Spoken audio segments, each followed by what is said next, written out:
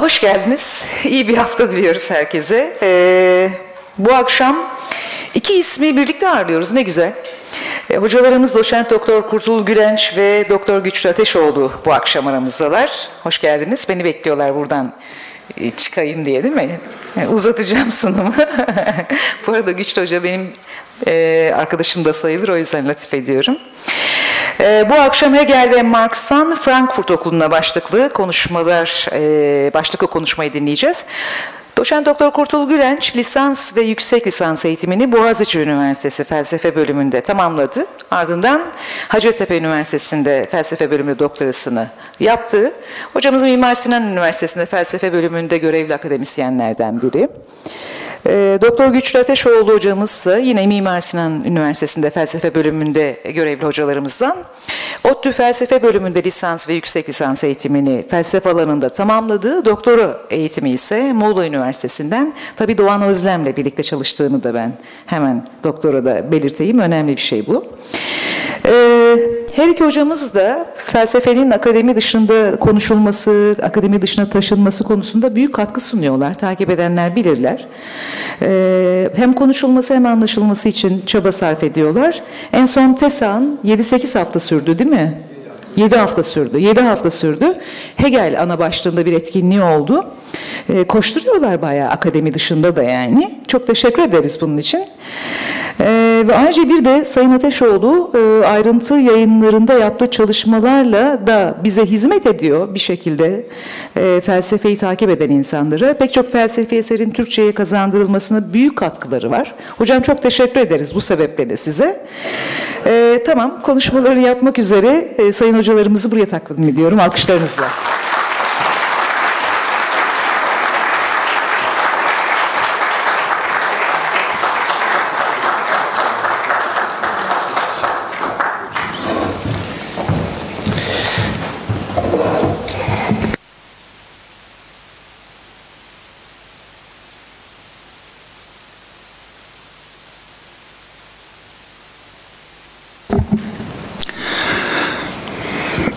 Saygıdeğer konuklar, değerli dinleyiciler, herkese çok teşekkür ederiz.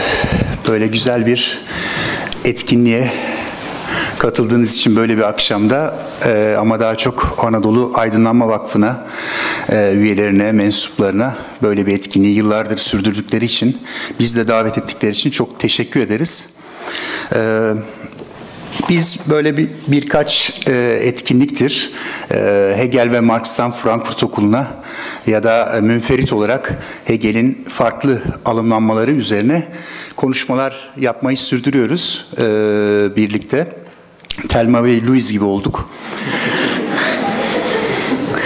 Lisans dersimizde birlikte veriyoruz. Şimdi Hegel e, Hegel felsefesine bir başlangıç yapmak her zaman beni e, yorar ve zorlar açıkçası. Yaklaşık 96 yılından beri e, Hegel'le uğraşmaya çalışıyorum.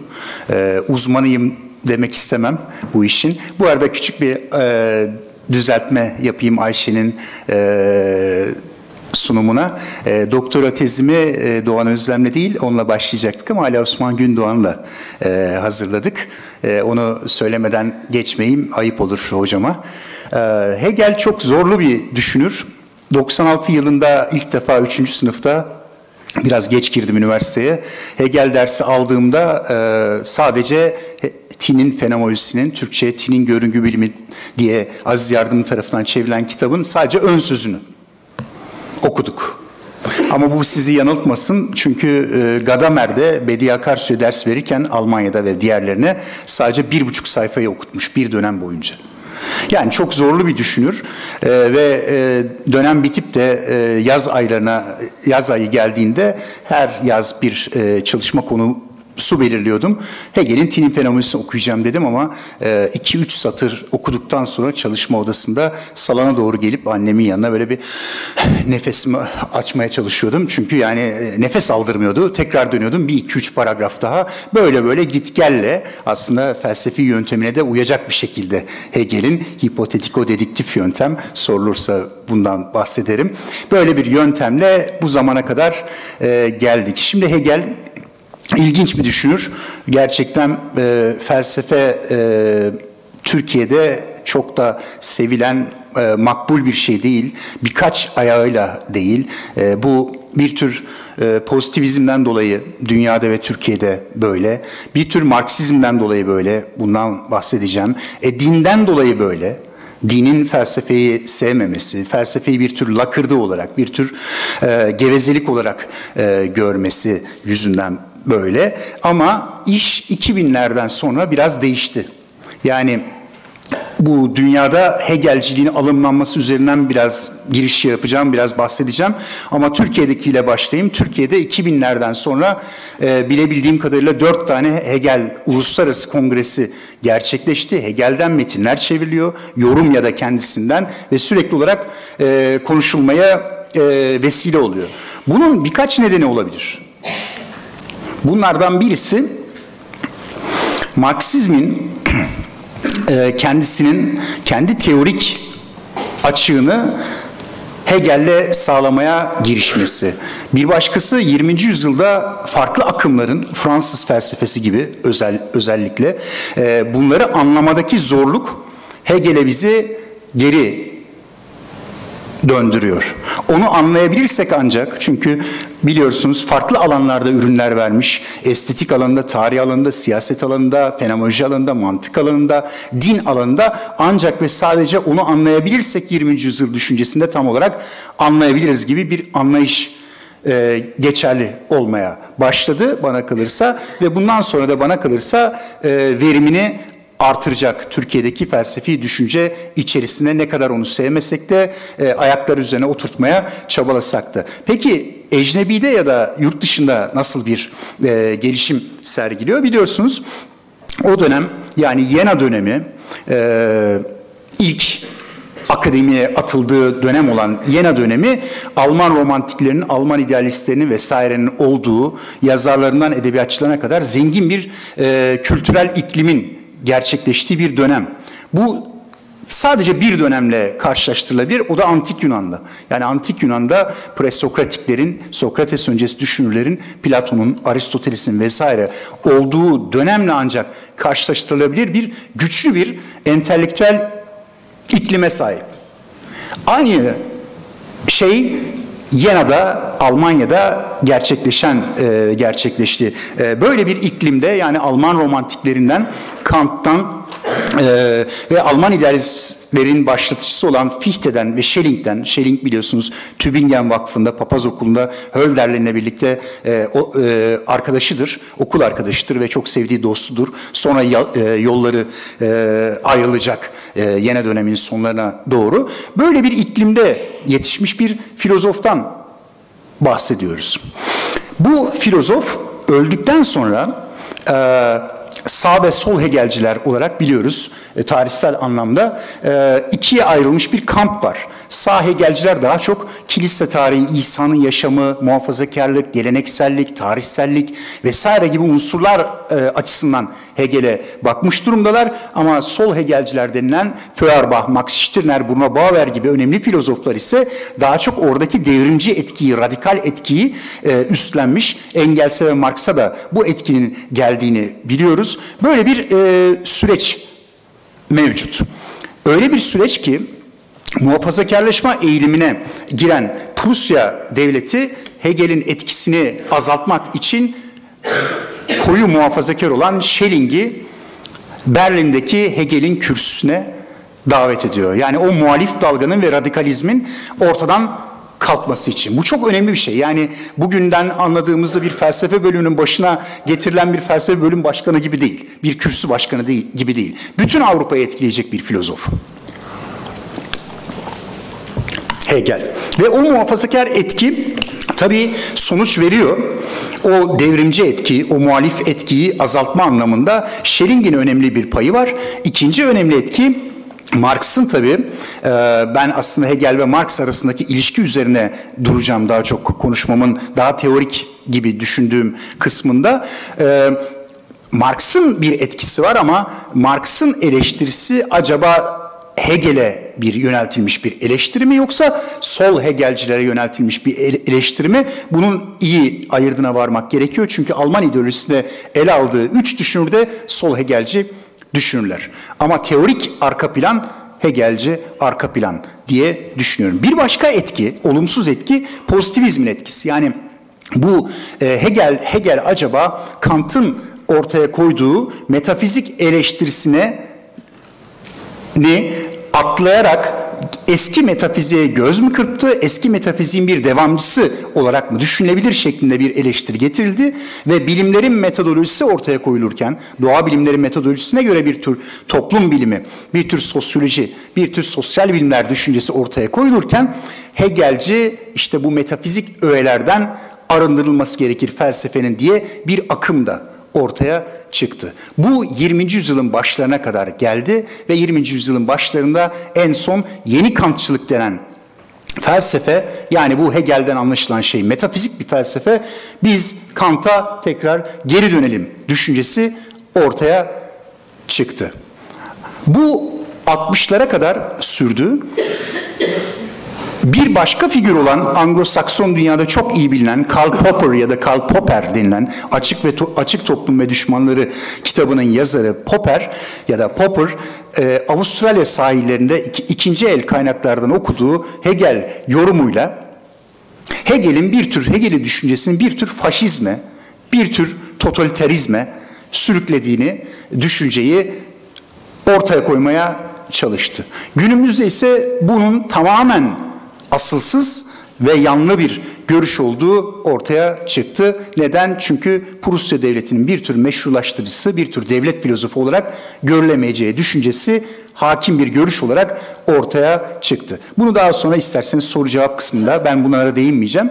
Ee, orada rahatlıkla tartışabiliriz. Yani böyle bir olumsuz etkiyle 1960'lara kadar Hegel düşüncesi geldi. Ama olumlu anlamda Gelişmeler yok muydu? Gelişmeler vardı. Örneğin benim de kendimi daha yakın hissettiğim, Kurtul'un da e, herhalde daha yakın hissettiği Hegelci Marksist bir gelenek, geleneğin izini sürmek düşüncesi var. Bu e, iki ayaklı e, ortaya çıkabiliyor. Yani pardon Hegelci Marksizm bir ayaktan devam ederken Hegelcilik bir başka ayaktan daha devam etti. Özellikle Almanya'da, İtalya'da, Fransa'da ki Althusser bunu e, Hegelci revizyonizm, akademik revizyonizm olarak görür. Bir tür irrasyonalizmin devralınması olarak yani Croce'de, Gentile'de, örneğin Almanya'da, Dilthey'da yani bir tür irrasyonalizmin, irrasyonalizme dönme, yaşamın irrasyonel öğelerine vurgu yapma,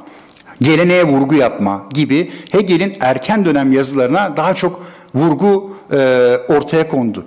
E, bu vurgu Heidegger'lere kadar, Gadamer'lere kadar geldi. Almanya'da bir akımı temsil ediyor. Ama ikinci akım işte tam da Hegelci Marksizm dediğim ayakta ise Leninler, Lukácslar, Gramsci'ler, Korsch'lar, Hans Heinz Holz'ler, Domenico Losurdo'lar gibi bir kanat ortaya çıktı ki ben bu kanadın çok önemli olduğunu ve çok verimli olduğunu düşünüyorum. Hegelci düşünceyi bir bütün olarak ele almaz. Sadece bir kısmını değil. Yani ondan geleneği ele alma, ondan tarihselliği çıkarma, ondan kültürelliği çıkartma gibi tek bir tarafını değil bir bütün olarak Hegel felsefesini ele alma. Bu felsefe bir metafizik bir felsefedir ama cinlerle, perilerle uğraşan ya da aşkın güçlerle, aşkın bir varlık olarak Tanrı'yla uğraşan bir metafizik kesinlikle değildir. Yani Kant öncesi dönemin döneme bir tür geri dönüş kesinlikle sergilemez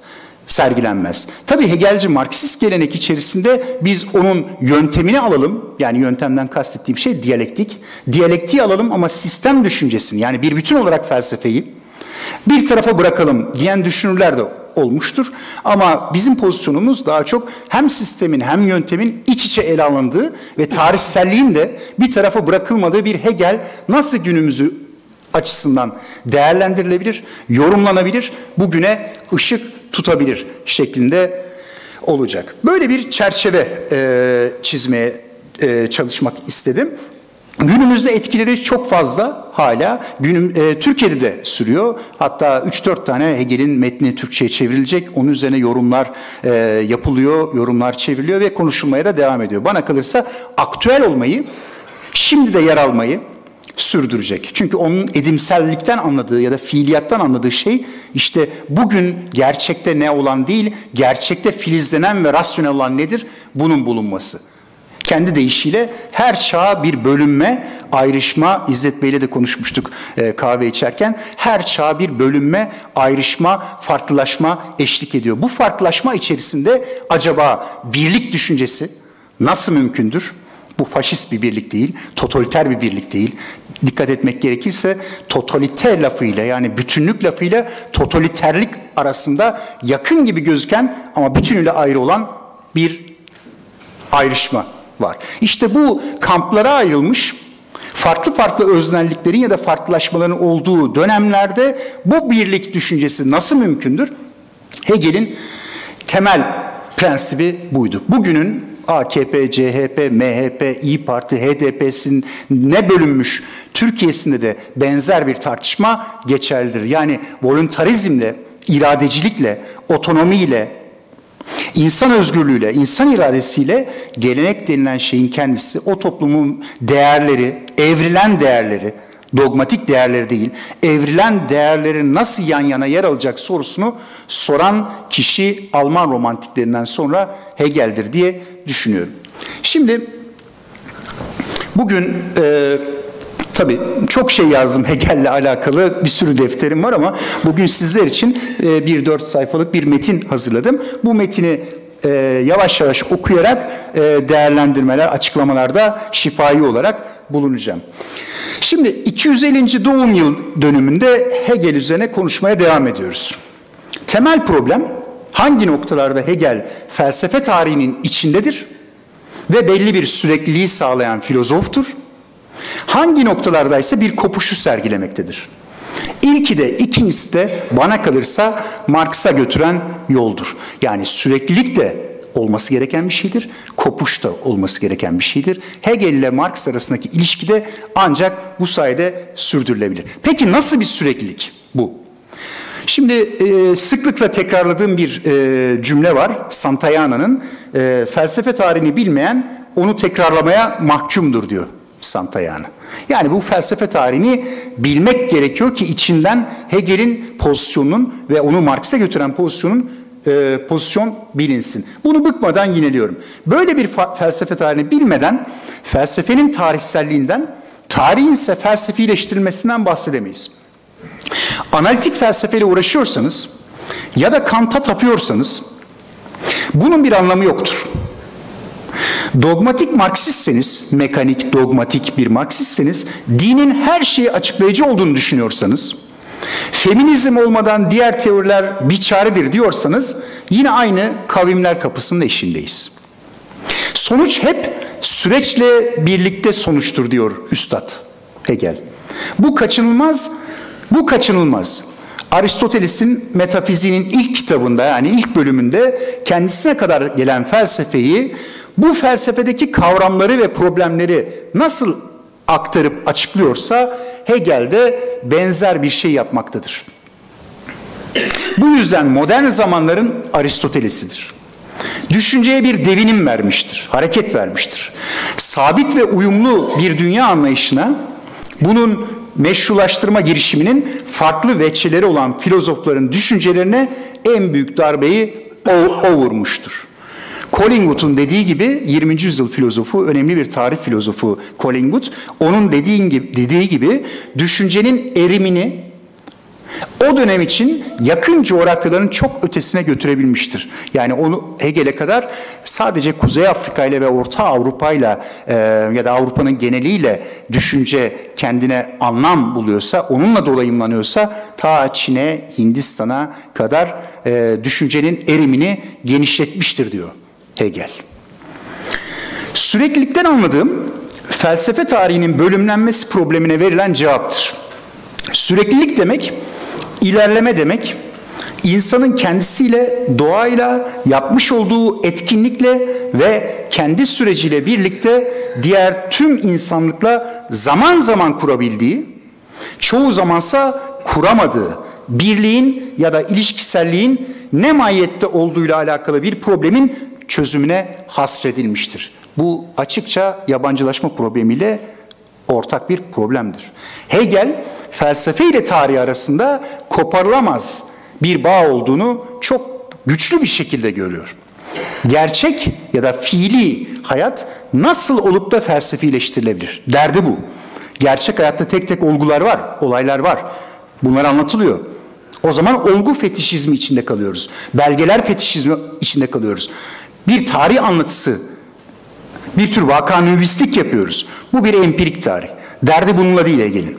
Felsefe ile tarih arasında gerçek ilişki nasıl ortaya çıkabilir? Yani rasyonel zorunlulukla felsefenin kavramlarıyla fiili, tarihsel fiiliyat, edimsellik nasıl yan yana durabilir? Yan yana durduğu durumlar nasıl gösterilebilir, açıklanabilir? Düşüncenin kendi bağlamından bütünüyle bağımsız, saf, a priori yani deneyime önsel ve sonsuz bir hakikat olduğu yönündeki felsefe tarihine hakim olan görüşe karşı çıkıyor Hegel.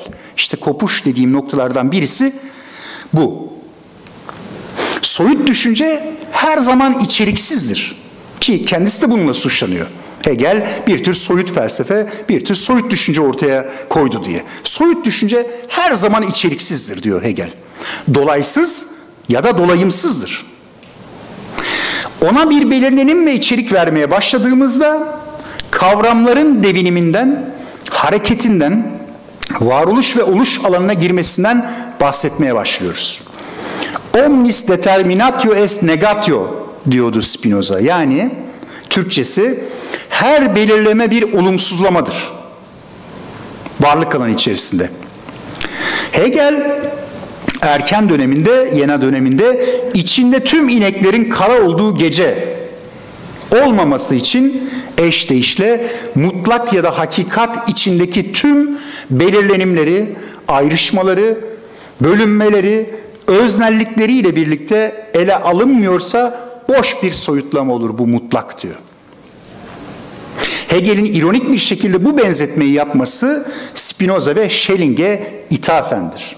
Onlar mutlağın ya da hakikatin devinen karakterli oluşunu ve farklı formlarda kendini açığa serişini izah edememişlerdir. O zaman her bir belirleme bir olumsuzlamadır. Olduğu gibi her olumsuzlamada bir belirlemedir. Bu Spinoza'ya ekidir Hegel'in.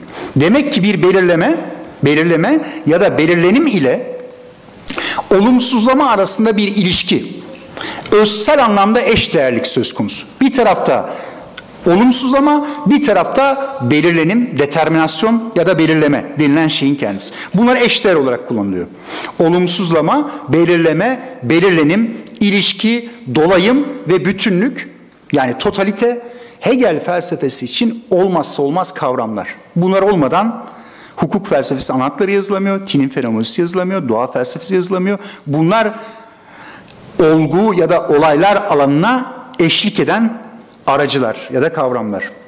Felsefe tarihinin kadim problemi olan görünüş ile gerçeklik arasında getirilen mutlak ayrım, deneyimin ve deneyimi ortaya çıkaran, tecrübeyi ortaya çıkaran, erimini ve kapsamını genişleten bilinç formlarının süreçsel kılınması yoluyla her aşamada aşılır. Tekrarlayayım. Felsefe tarihinin kadim problemi olan görünüş ile gerçeklik arasında Platon'da böyle bir ayrım var, Locke'da böyle bir ayrım var, Kant'ta böyle bir ayrım var. Felsefe tarihini biliyorsak bu ikisi arasında getirilen mutlak ayrım, kapatılamaz boşluk, deneyimin ve deneyimi ortaya çıkaran erimini ve kapsamını genişleten bilinç formlarının süreçsel kılınması yoluyla her aşamada aşılır. Bu yüzden Hegel Fichte'den aldığı bir esinle bilincin deneyiminin bilimi diyor felsefe. Bilincin deneyiminin bilimi. Bilim burada düz anlamda anladığımız fizik, kimya, matematik gibi bilimler değil. Bütün bilimleri kuşatan, onlara ilkelerini veren, bütünsel, kuşatıcı bilgelik demiyorum. Öğretinin kendisi. Wissenschaft diyor buna. Science gibi değil, düşünmeyelim. Wissenschaft tüm bilimleri bilgilendiren, onlara onları açıklayan kendi işlerinde çabanın kendisi.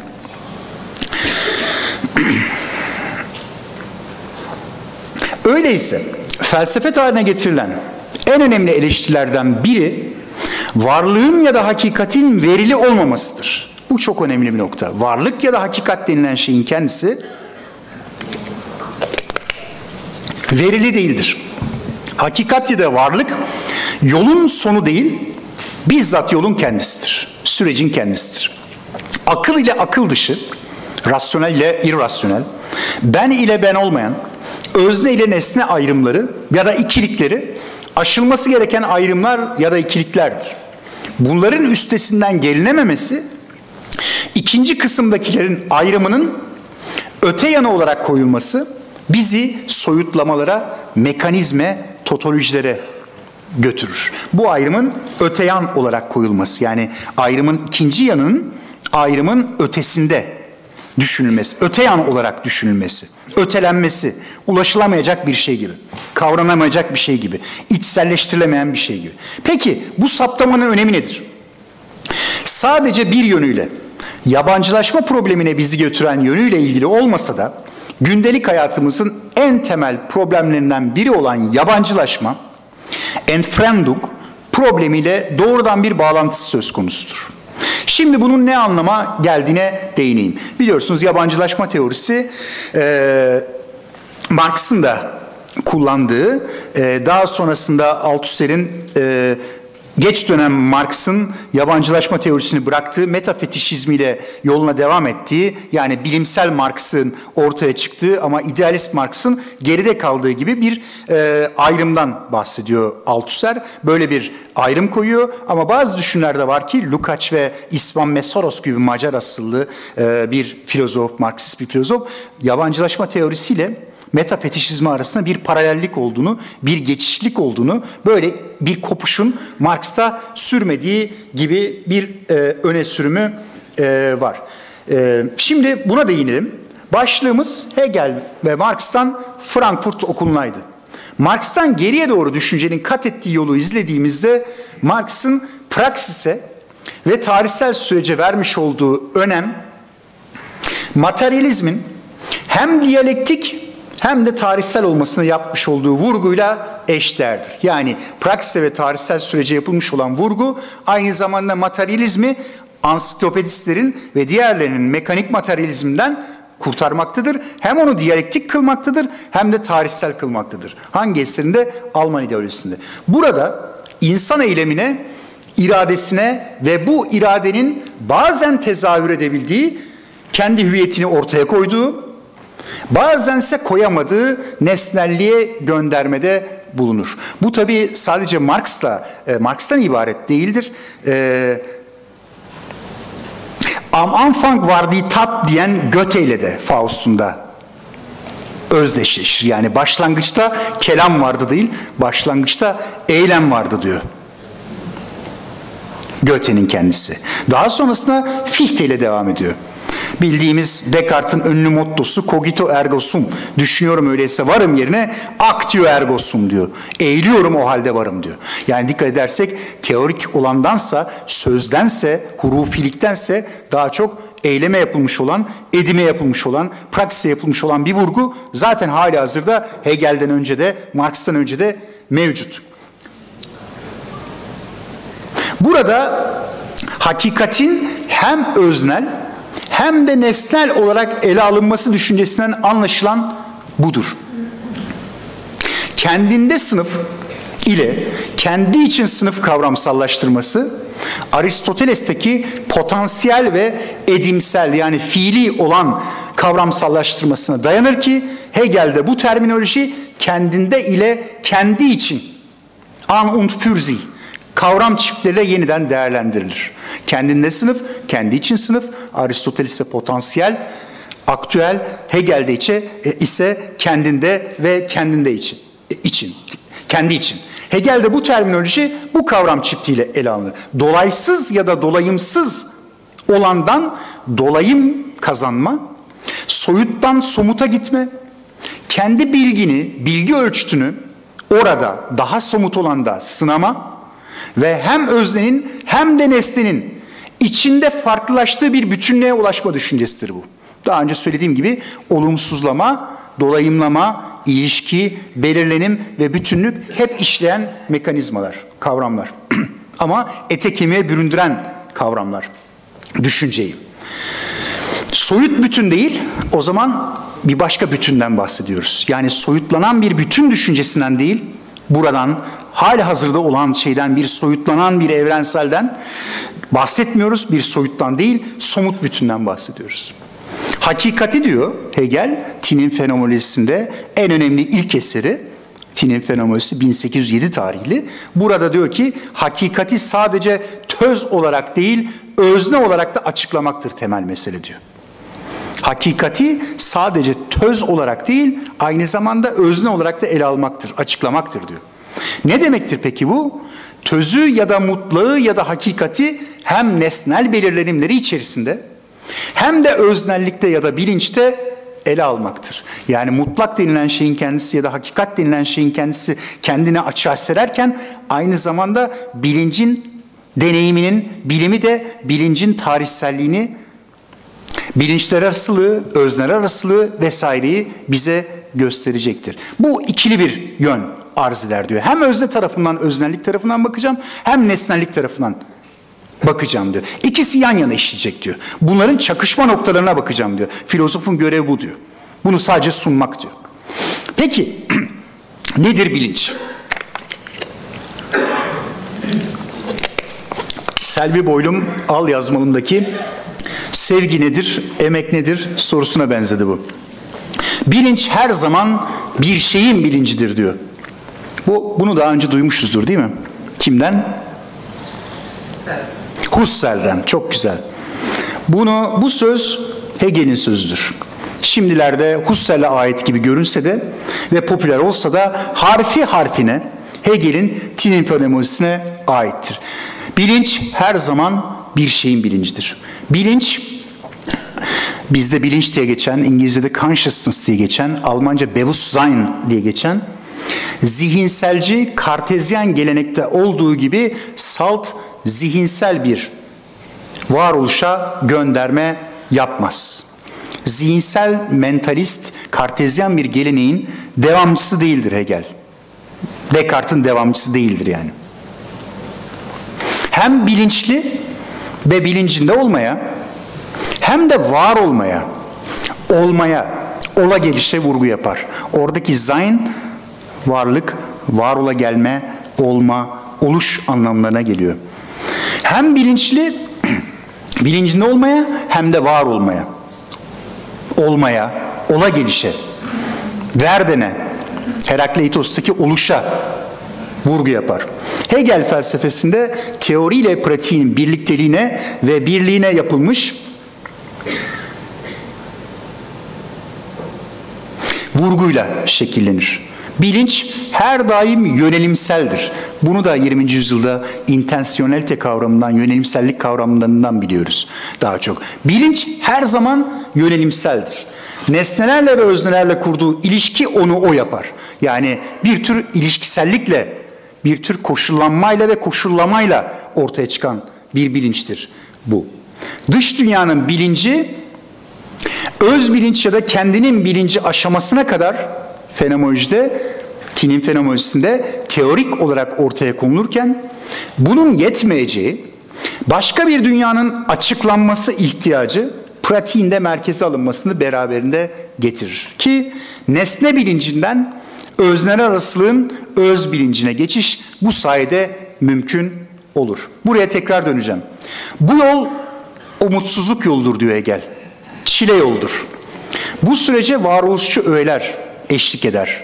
Nelerdir bunlar? Öz bilinç bölümde korku, kaygı, endişe, ölüm kalım mücadelesi, arzu, arzuyu arzulama, isteği isteme, tatmin ya da tatminsizlik, Bağımsızlığını sağlama çabasına girişen bağımlı özbilinç, bu çok önemli bir vurgu. Çünkü öznel arasılık içerisinde ancak bağımlılıktan ve bağımsızlıktan, bağımlı özbilinçten ve bağımsız özbilinçten, özgürlüğünü sağlayandan ve zorunluluğa tabi olandan ya da zorlamaya tabi olandan Spinoza'ya gönderme yaparak bu bunlar işlenir.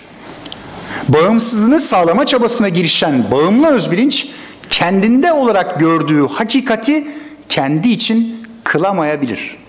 Kendinde olarak gördüğü hakikati kendi dışında bu yabancılaşmaya neden olacak. Kendi için kılamayabilir. Onun için kılamayabilir. içselleştiremeyebilir. Kavrayamayabilir. Sınırı bilir ama sınırı tanıyamaz. Bilmek ile o zaman tanımak arasında bir ayrım vardır. Bilmek bir şey, tanımak bir başka bir şey. Tanınan anerkenen recognition anerkenunga dönüşüyor. Anerkenen, anerkenung tanıma. Tanınan, bilmenin ötesine uzanan kavramada içselleştirmedir. Bilmenin ötesine yani nesneye karşı dışsal kalan bir bilmedense bilmenin ötesine, sınırın ötesine uzanan kavramadır. Onu içselleştirmektir. Sınırın ötesine düşüncede özgürlüğün konuyu Kurtul'un konusuna getirmeye çalışıyorum. Sınırın ötesine düşüncede özgürlüğün ya da negatif özgürlüğün ötesine adımını atmaktır. İşte negatif özgürlük ile pozitif özgürlük arasındaki kadim problem burada şekilleniyor. Sınırın ötesine salt düşüncede özgürlük de değil, düşüncede özgürlüğün ya da negatif özgürlüğün ötesine adımını atmaktır. Sınırın ötesindeki ötesindekini tutmak, kavramak bizim kılmaktır. O zaman gerçek anlamda tanıma ya da tanınmadan bahsedilebilir. Hegel'e göre bunun bilincinde varıp bilincine varıp da yani bilip de eyleyemeyen, gerçekliği kendi hakikati kılamayan düşünce akımları vardır. Bilip de eyleyemeyen, gerçekliği kendi hakikati olarak kılamayan düşünce akımları vardır. Dikkat ederseniz bir tür ilerleyen bilme biçimde yani düşüncenin tarihsellikle girmiş olduğu noktada bu düşünce akımlarını sınırlı boyutlarıyla hakikate uzanamama anlamında resmediyor Hegel'in kendisi. Bunlar nelerdir? Stoacılıktır. Bir tür dışsal gerçekliğe kayıtsız kalma ahlakıdır. Dışsal dünyada dışsal dünyanın gerçekliğini bilip de o gerçekliği değiştiremeyen, dönüştüremeyen bir bilinç biçimidir. Eğer ben dışsal dünyaya ne kadar kayıtsız, olur, kayıtsız olursam o kadar akli olandan ya da rasyonel olandan payını alabilirim diye bir geri çekiliştir. Bu işte felsefe tarihinde negatif özgürlüğün yansımalarından birisi olacak. Bir başkası kuşkuculuktur. Salt kendinden kuşkulanmayan ama gerçeklikten ve kendi dışındaki bütün şeylerden kuşku duyan anlayışın kendisidir. Hakikati olarak kendisi kendi kuşkusunu gösterir. Descartes'inki biraz daha farklıdır. Descartes'inki kuşkuculuğu amaçlamayan bir kuşkuculuktur. Onda hakikat düşüncesi vardır, mevcuttur. Bir başka bilinç biçimi ise yabancılaşmanın izlerini e, en fazla taşıyan e, öz bilinç, kendinin bilinci e, aşamalarından, formlarından birisi olan Hristiyan özbilinçtir. Dini özbilinçtir. Bunlar kendinin bilincine varabilen ben ile eş değişle koşulsuz ya da özgür olanla nesnel gerçeklik arasındaki ayrımı bilir. Bu ayrımı düşüncesine nesne kılabilir. Zihninde bir ben düşüncesi ve dış dünyadaki nesne düşüncesi bende bir araya getirilebilir. İlişkiye sokulabilir, sokulabilir. Bunların sınırlılığı düşüncede gösterilebilir. Ayrımı gösterilebilir. Kendindeyi, Hegel'in terminolojisi bu. Daha önce bahsettim. Yani hakikati bilincin bir olgusu kılar. Ve bunu aşma fiili ya da edimsel olanı kendi içini işletebilme kudretine sahiptir. Kendi içinde bunu işletebilme kudretine sahiptir. Gel gelelim bunu başaramaz. Yani bu ayrımın ötesine geçme düşüncesini, o sınır durumunu düşünür. Ama aşamaz, bunu başaramaz. Gerçeklik alanında burada ve şimdi de yeryüzünde inşa edebileceği iradeyi, hakikati ya da tinsel olanın somut öğelerini, ne demek bu tinsel olanın somut öğeleri? Devlet, sivil toplum, aile, bürokrasi, meslek grupları, meslek birlikleri, bizdeki ahilik gibi, oradaki korporasyonlar, meslek birlikleri gibi. Bunlar tinsel bir dünyanın yani doğal olmayan bir dünyanın, ikinci doğa olan bir tinsel dünyanın oluşturucu öğeleridir, somut öğeleridir. Bunları göklerde aramaya kalkarlar diyor Hegel. Diğer bilinç biçimleri. İyi diye, doğru diye, adil diye, güzel diye düşündüğü şeyler bu dünyanın kılınmazlar. Bu dünyada somutlaşmazlar. Birer düşünce nesneleri olarak kalırlar. İmanın nesneleriyle düşüncenin nesneleri burada eşitlenir. Hegel kavramı imandan, duygusal olandan daha öte bir boyuta koyar. Ama bu noktada aşamayan düşünce, aşamayan imanla birdir. Sahip çıkamadığım, kendimin olmayan ve kendimi orada göremediğim bir gerçekliğin olduğunu bilirim ama yine de onun içerisine nüfuz edemem. Çok önemli. Sahip çıkamadığım, kendimin olmayan ve kendimi orada göremediğim bir gerçekliğin olduğunu bilirim. Bilmiyorlar ama yapıyorlar diyordu değil mi aksakallı Marx? Ama yine de onun içerisine nüfuz edemem. Kendi zihnimin otlağındaki hakikat ve gelin lafı benim değil.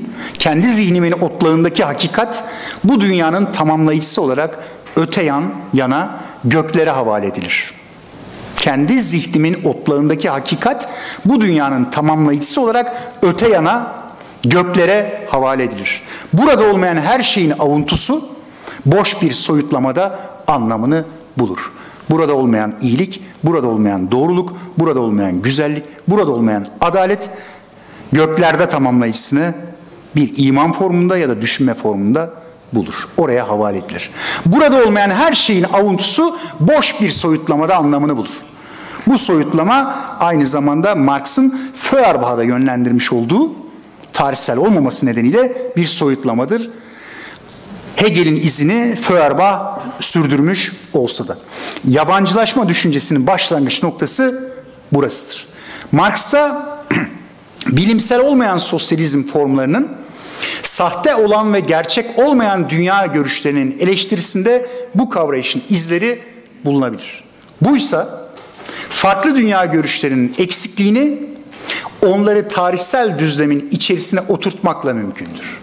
Yani gerçek olmayan ya da sahte dünya görüşleri eksiklikleri tarihsel düzlemin içerisine oturtulmalıdır. Bu Hegel'in Marx'a olan mirasıdır.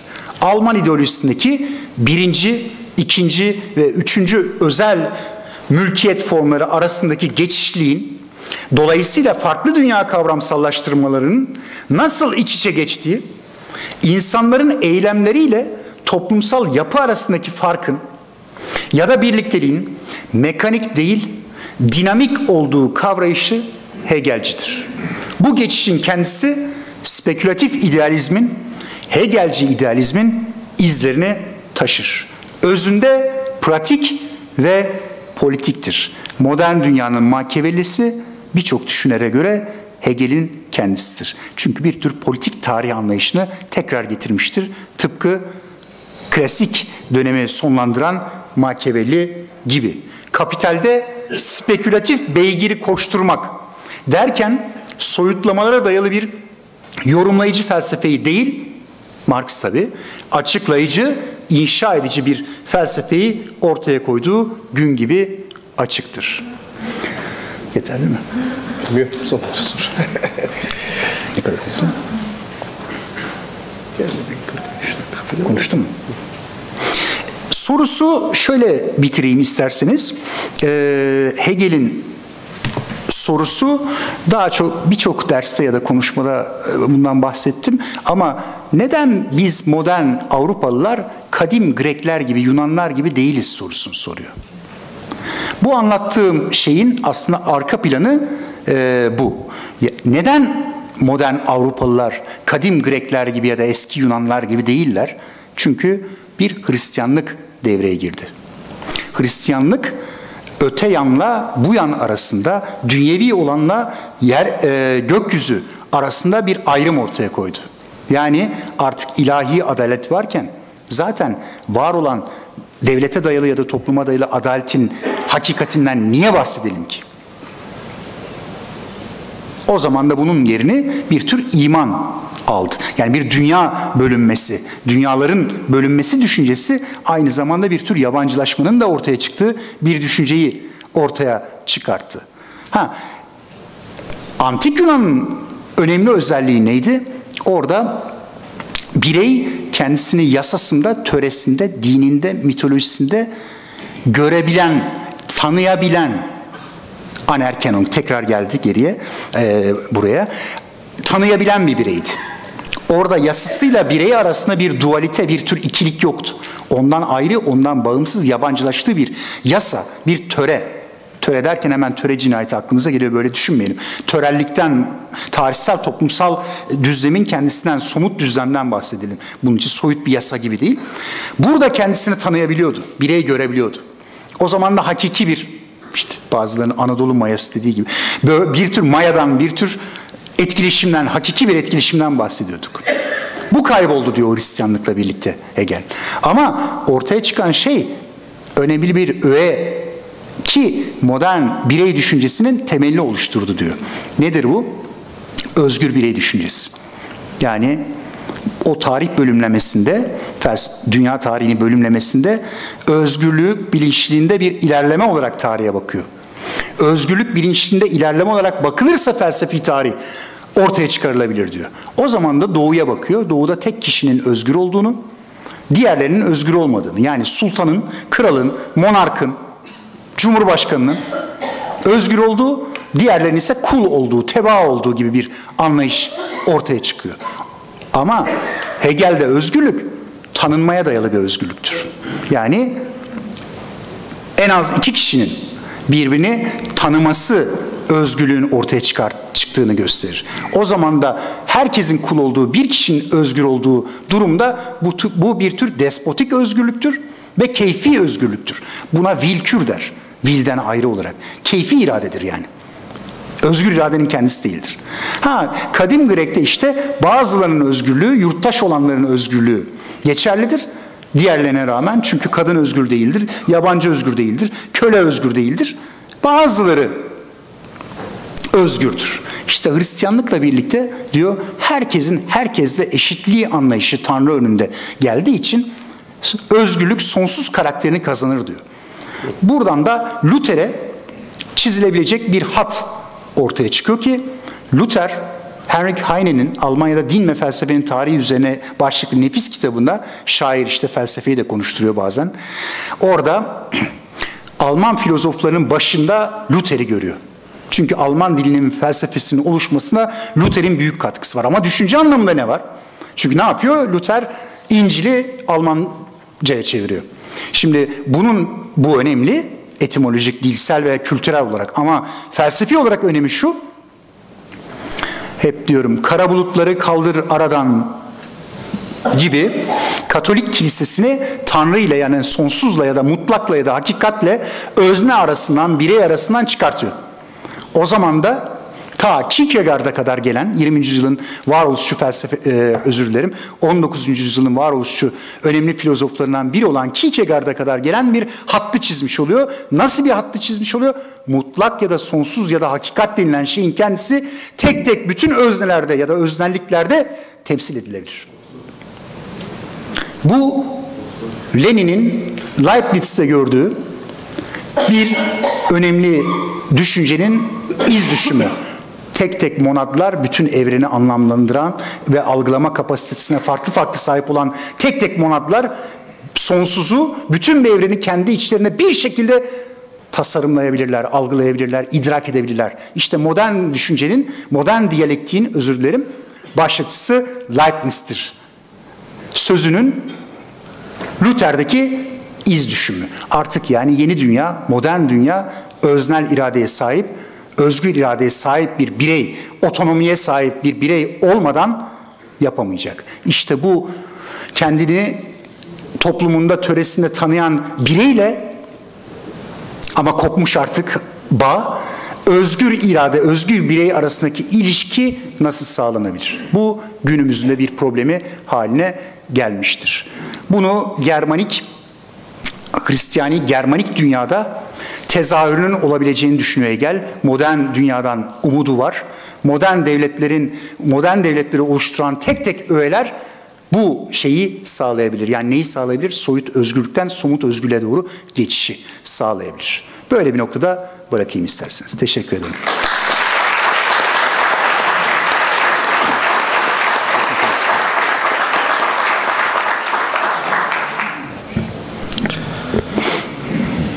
Evet. Herkese merhabalar. Şimdi ben de konuşmama e, başlamadan önce e, buraya bizi davet eden e, Anadolu Aydınlanma Vakfı'na, yönetim kuruluna, değerli üyelerine ve siz değerli dinleyicilere çok teşekkür ediyorum. Şimdi tabii güçlü çok iyi bir yerde bıraktı. Ben aslında tam da nereden başlasam e, diye düşünüyordum. E, özellikle hem modernitenin e, yeni bir özgürlük anlayışı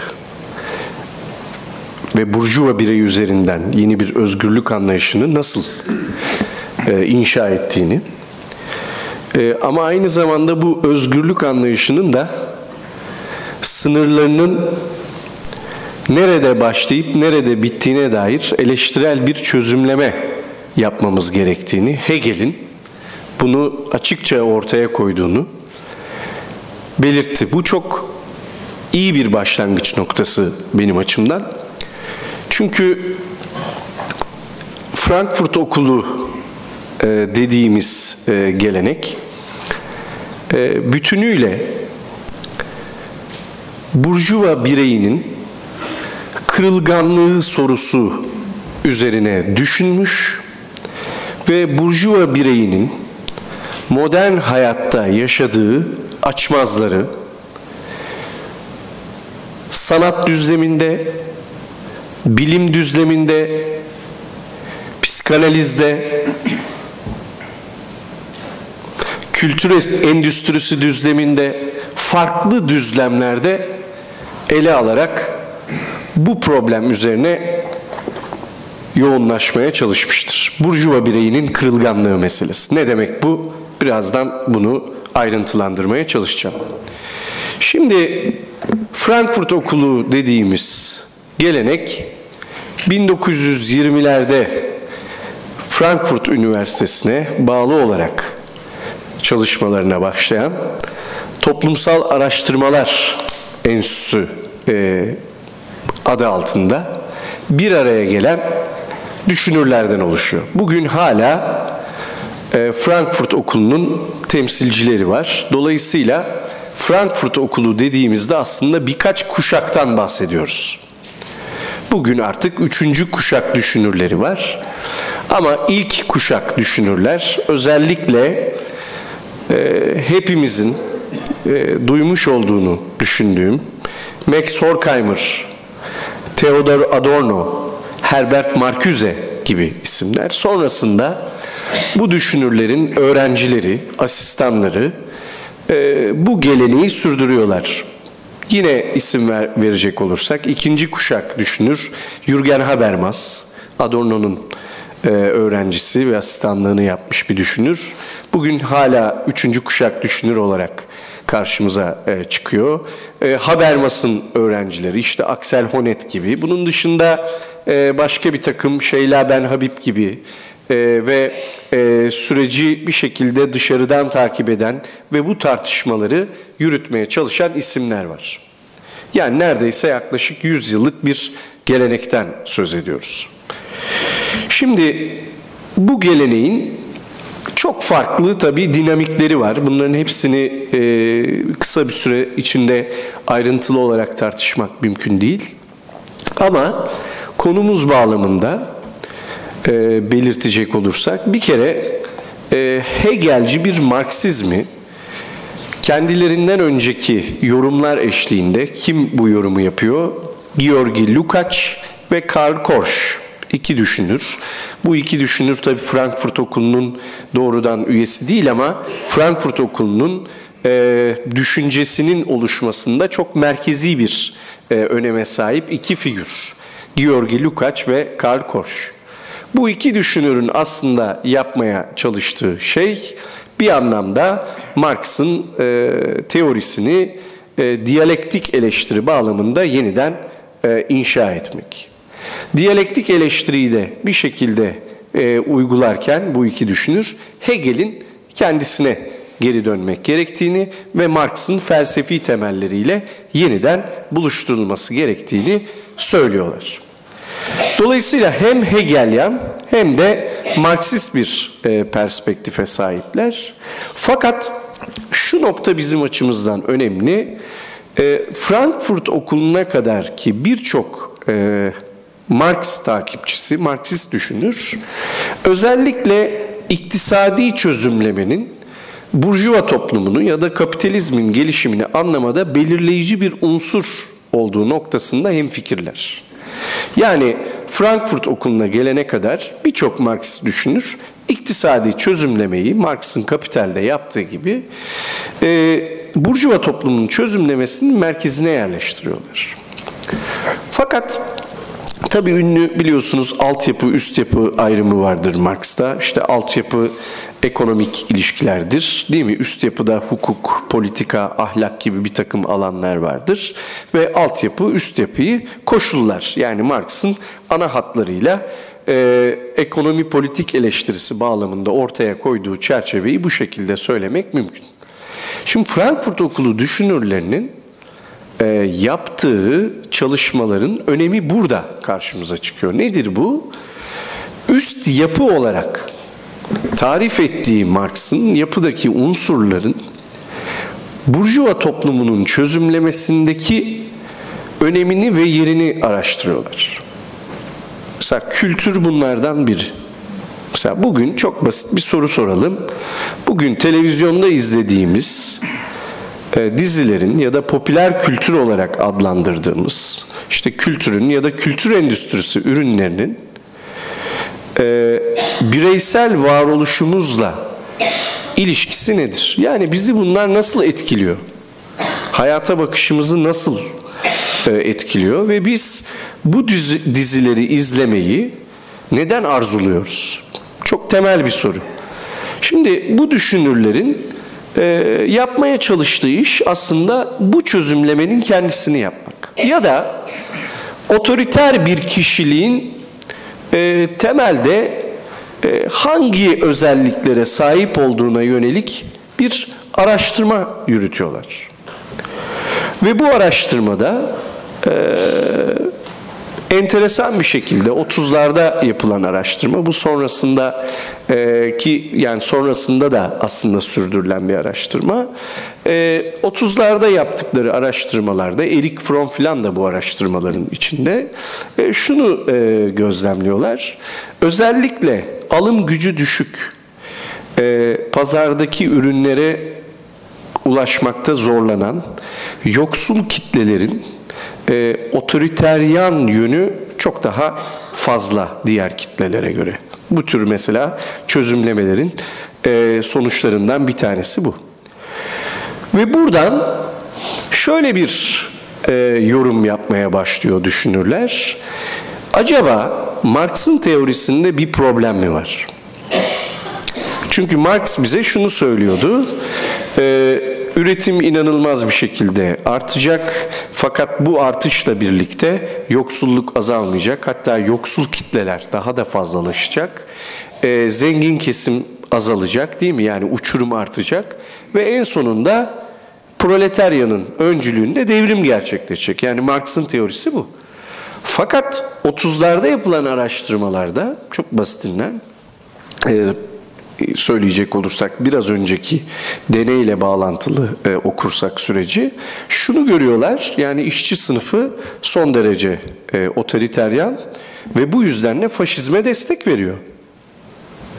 Yani hiç öyle e, beklenen bir devrim gerçekleşecek gibi değil. Zaten işte 1918'de Almanya'da, Macaristan'da yaşanan başarısız deneyimler söz konusu. Haliyle bu e, Marx'ın işçi sınıfı devrimi vaadinin gerçekleşemeyebileceğine yönelik bir fikrin ortaya çıkmasına yol açıyor. Bunun gibi bir takım çözümlemeler, sanat, estetik teori üzerine yazıyor düşünürler. Dolayısıyla tam da aslında e, iktisadi çözümleme yerine Marx'ın üst yapı olarak tarif ettiği öğeleri analiz etmeye çalışıyor düşünürler. Ve bu analiz sonrasında da tam da konuşmamın başında belirttiğim Burjuva bireyinin kırılganlığı meselesiyle e, üst yapıda yer alan öğeler arasındaki ilişkiyi bize göstermeye çalışıyorlar. Söylemeye e, çalıştıkları şey ana hatlarıyla bu. Yani ailenin rolüne, eğitimin rolüne, okulun rolüne örneğin bunları çoğaltabiliriz. Şimdi tabii bu söylediğim 1960'lara kadarki e, araştırmalar. 1960'ların zaten ortalarından sonra yavaş yavaş birinci kuşak e, temsilcileri e, vefat ediyor, ölüyorlar ve ondan sonra işte ikinci kuşak düşünürler Habermas gibi bize e, yeni bir e, perspektif sunmaya çalışıyorlar. Çünkü e, artık yeni bir dünya ortaya çıkıyor. Şimdi bir girizgahtı bu Frankfurt Okulu'yla alakalı. Şimdi yavaş yavaş başlayalım.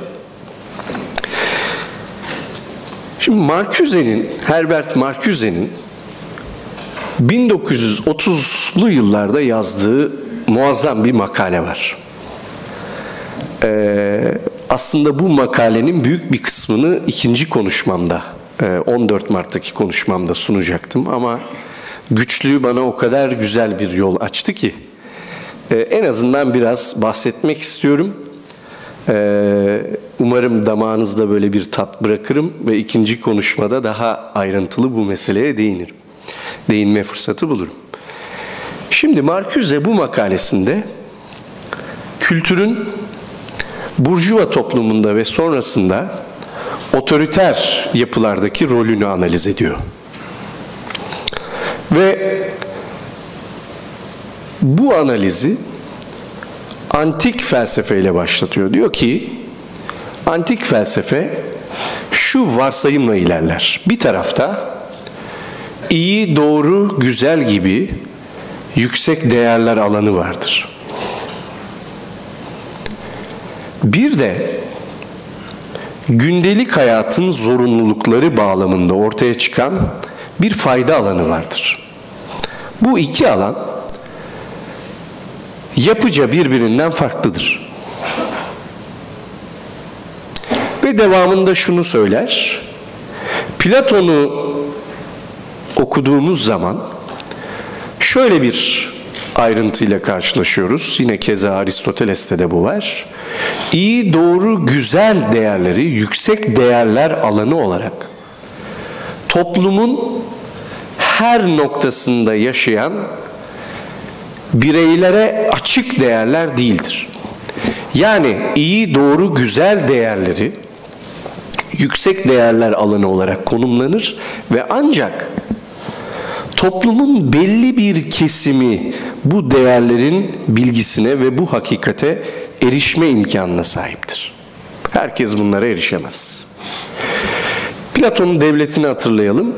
İdeal devlette Platon ne savunuyordu? Devleti kimler yönetecekti? Filozoflar değil mi? Ancak filozoflar bu değerlerin bilgisine ve hakikate erişebilir. Ve ancak Bu değerler alanına onlar girebilir. Herkes giremez. Aristoteles de yine zorunlu ve faydalı olan alanıyla yani gündelik hayat alanıyla iyi, doğru, güzelin alanını birbirinden ayırır. Ama bu ayrıma ek olarak antik felsefede karşılaştığımız şey toplumun bir yarılmışlığıdır. Ne demek bu? Belli bir azınlık iyi, doğru, güzelin alanına erişebilir. Diğerleri çoğunluk erişemez. Ne yapar? Çoğunluk gündelik hayatın zorunluluklarını karşılamaya çabalar. Böyle bir ayrım var. Şimdi iyi güzel ama yine de bir birlik kurma ihtiyacı var. Çünkü güçlü yine söz etti. Yani neden Hegel şu soruyu soruyor? Neden biz kadim gele, Yunan Grek geleneği gibi değiliz? Çünkü orada bir birlik algısı var. İşte bu birliği kuran şeyin kendisi epiktir. Yani bir anlamda toplumsal düzlemde somut bir yarılma olmasına rağmen epik bir birlik kurarak o yarılmışlığı bir şekilde bütünlüğe doğru çevirir. Ve aynı zamanda şunu da hatırlayalım. Descartes'taki özne nesne dikotomisi de antik Yunan'da yoktur. Yani e, Heidegger'i filan e, okuduğumuzda Heidegger tam da zaten böylesi bir e, birlikteliği bize sunar. Keza romantikleri de okuduğumuzda böylesi bir birliktelik resmi vardır. Şimdi Marcuse devam ediyor. Diyor ki e, geldik Hristiyanlık üzerinden Burjuva dünyasına. Burjuva dünyasında bu değerler yine aynı şekilde gündelik hayattaki üretim ilişkilerinden bağımsız bir alanda sergilenir. Bunlar yine iyi, doğru, güzel, farklı, yüksek değerler olarak gündelik hayatın dışındadır. Yani antik Yunan'daki o ikilik devam ettirilir. Fakat diyor Marcuse, önemli bir fark vardır. Artık herkesin bu değerlere erişme imkanı söz konusudur. Fark bu. Çünkü burjuvazi soyut eşitlik ilkesiyle artık bu değerleri herkesin kullanımına açmıştır.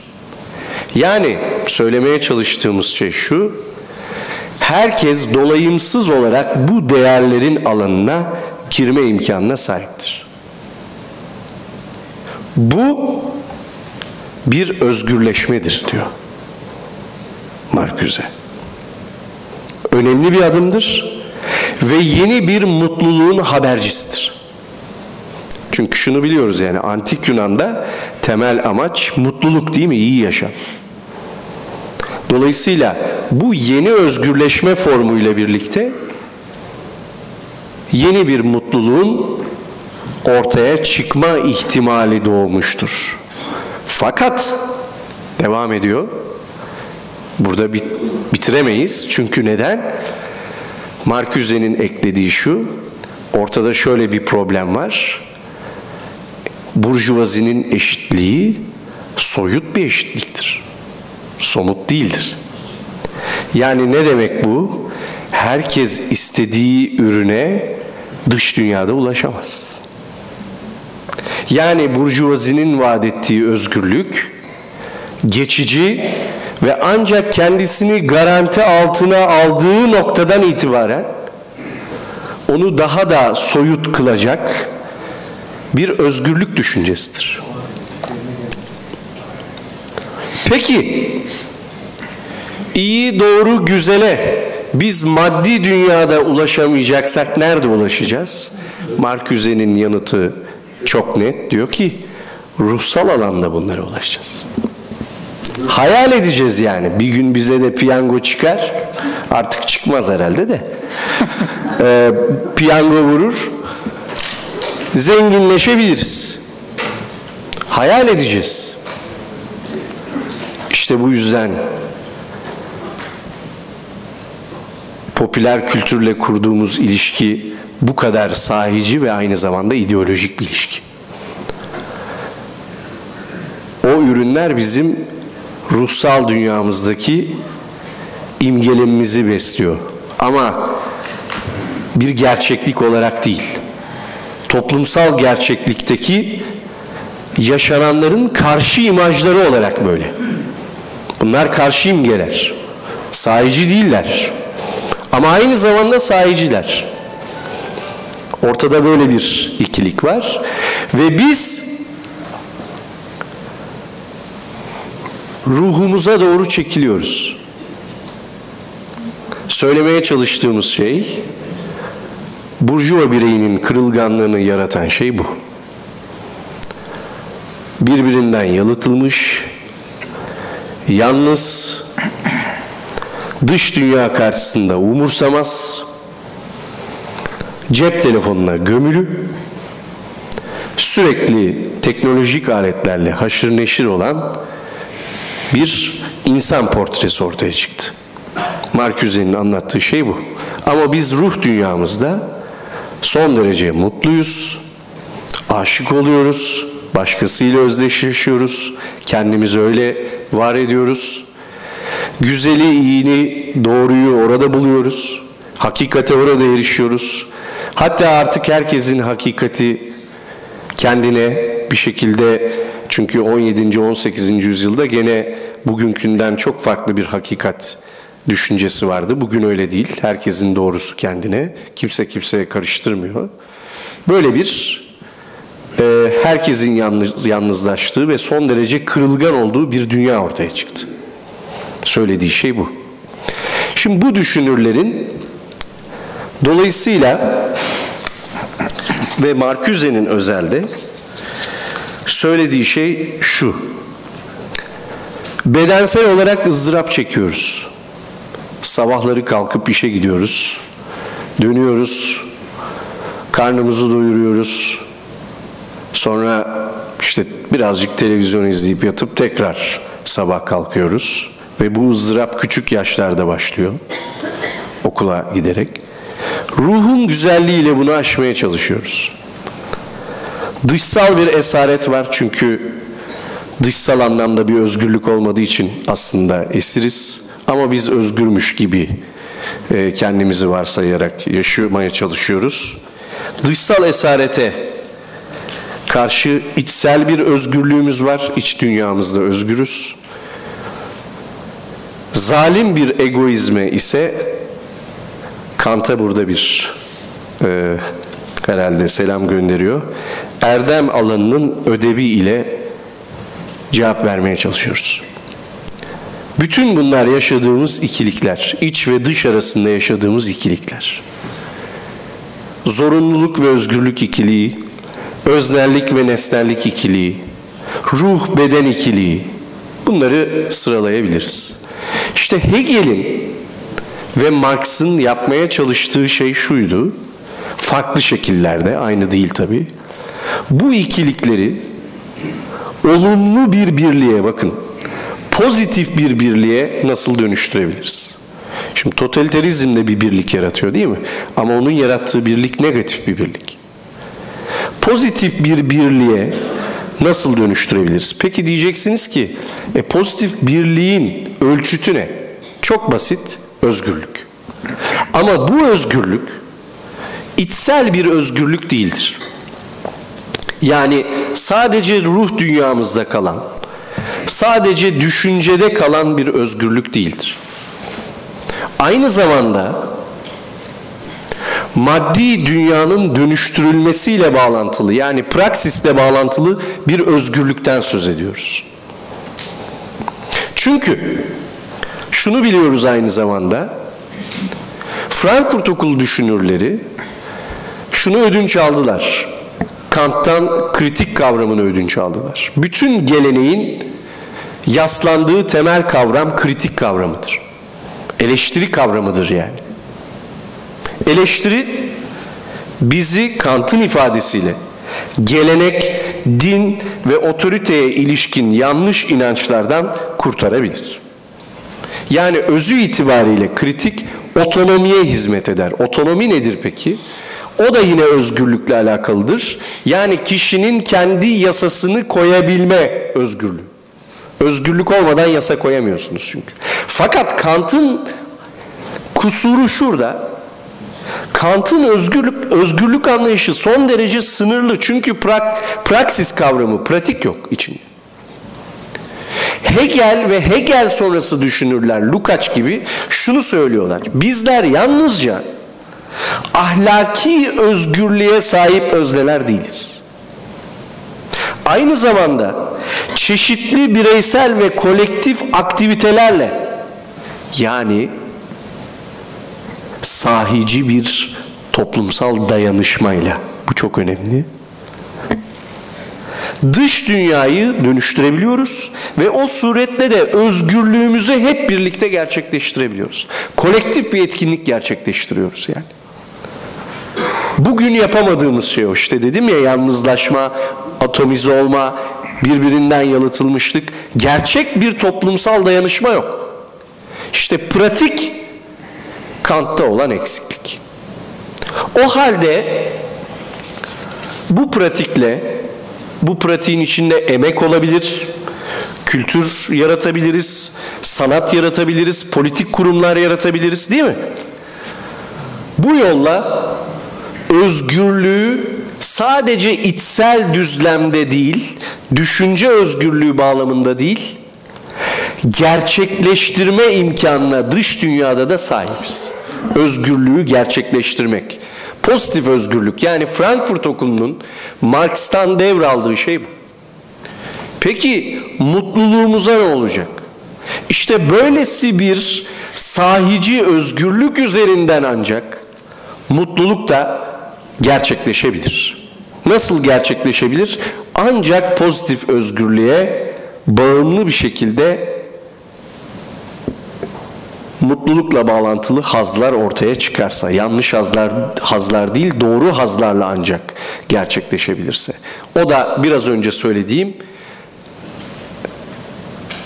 sahici toplumsal dayanışmayla, kolektif hareketle mümkün olabilir. Şimdi bir 10 dakika daha konuşacağım ondan sonra e, toparlıyorum. Şimdi okul düşünürlerinden Max Horkheimer 1937 yılında bir makale kaleme alıyor. Makalenin adı Geleneksel Kuram, Eleştirel Kuram veya Geleneksel Teori, Eleştirel Teori. Çevrildi Yapı Kredi yayınlarından Mustafa Tüzel çevirisiyle yayınlandı. Ee, burada Frankfurt Okulu'nun bir manifestosunu yazıyor Horkheimer. Ve biz Frankfurt Okulu'nu artık o makale sayesinde eleştirel teori adıyla anmaya başlıyoruz. Eleştirel teori ile geleneksel teorinin farkı ne? Eleştirel teori özgürleştirici biraz önce söylediğim özgürleştirici bir ilgiyle hareket eder. Ama esasen temel işlevi ve rolü yansıtıcı bir teori olmasından kaynaklanır. Ne demek yansıtıcı? Yani e, öz düşünümsel diye de çeviriyorlar zaman zaman. Bu şu anlama geliyor. Teori gerçekliğin bir parçasıdır.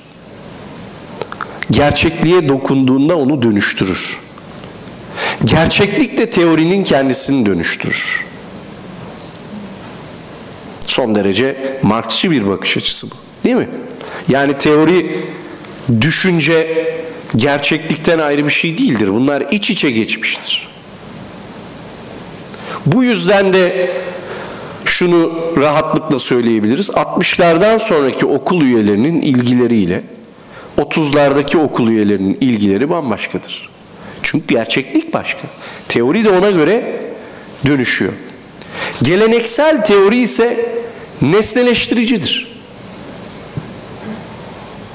Yani ele aldığı gerçekliğin kendisini nesneleştirir. Ne demek bu? Yani kendisini gerçekliğin dışında konumlar. Çok basit bir örnek verelim. Bir tarihçiyseniz ya da bir sosyologsanız şu şekilde bir başlangıç yapmanızda fayda vardır eleştirel teori yapacaksanız eğer.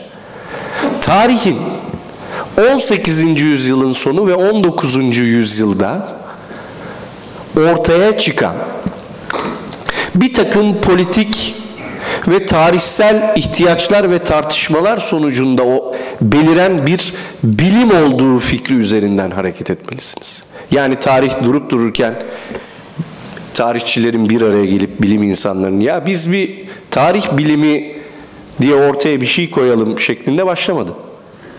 Ulus devletler ortaya çıktı. Ulus kimlik yaratılması gerekiyordu ve bu yüzden de tarih bilimi ortaya çıktı. Sosyoloji Fransız devrimi oldu.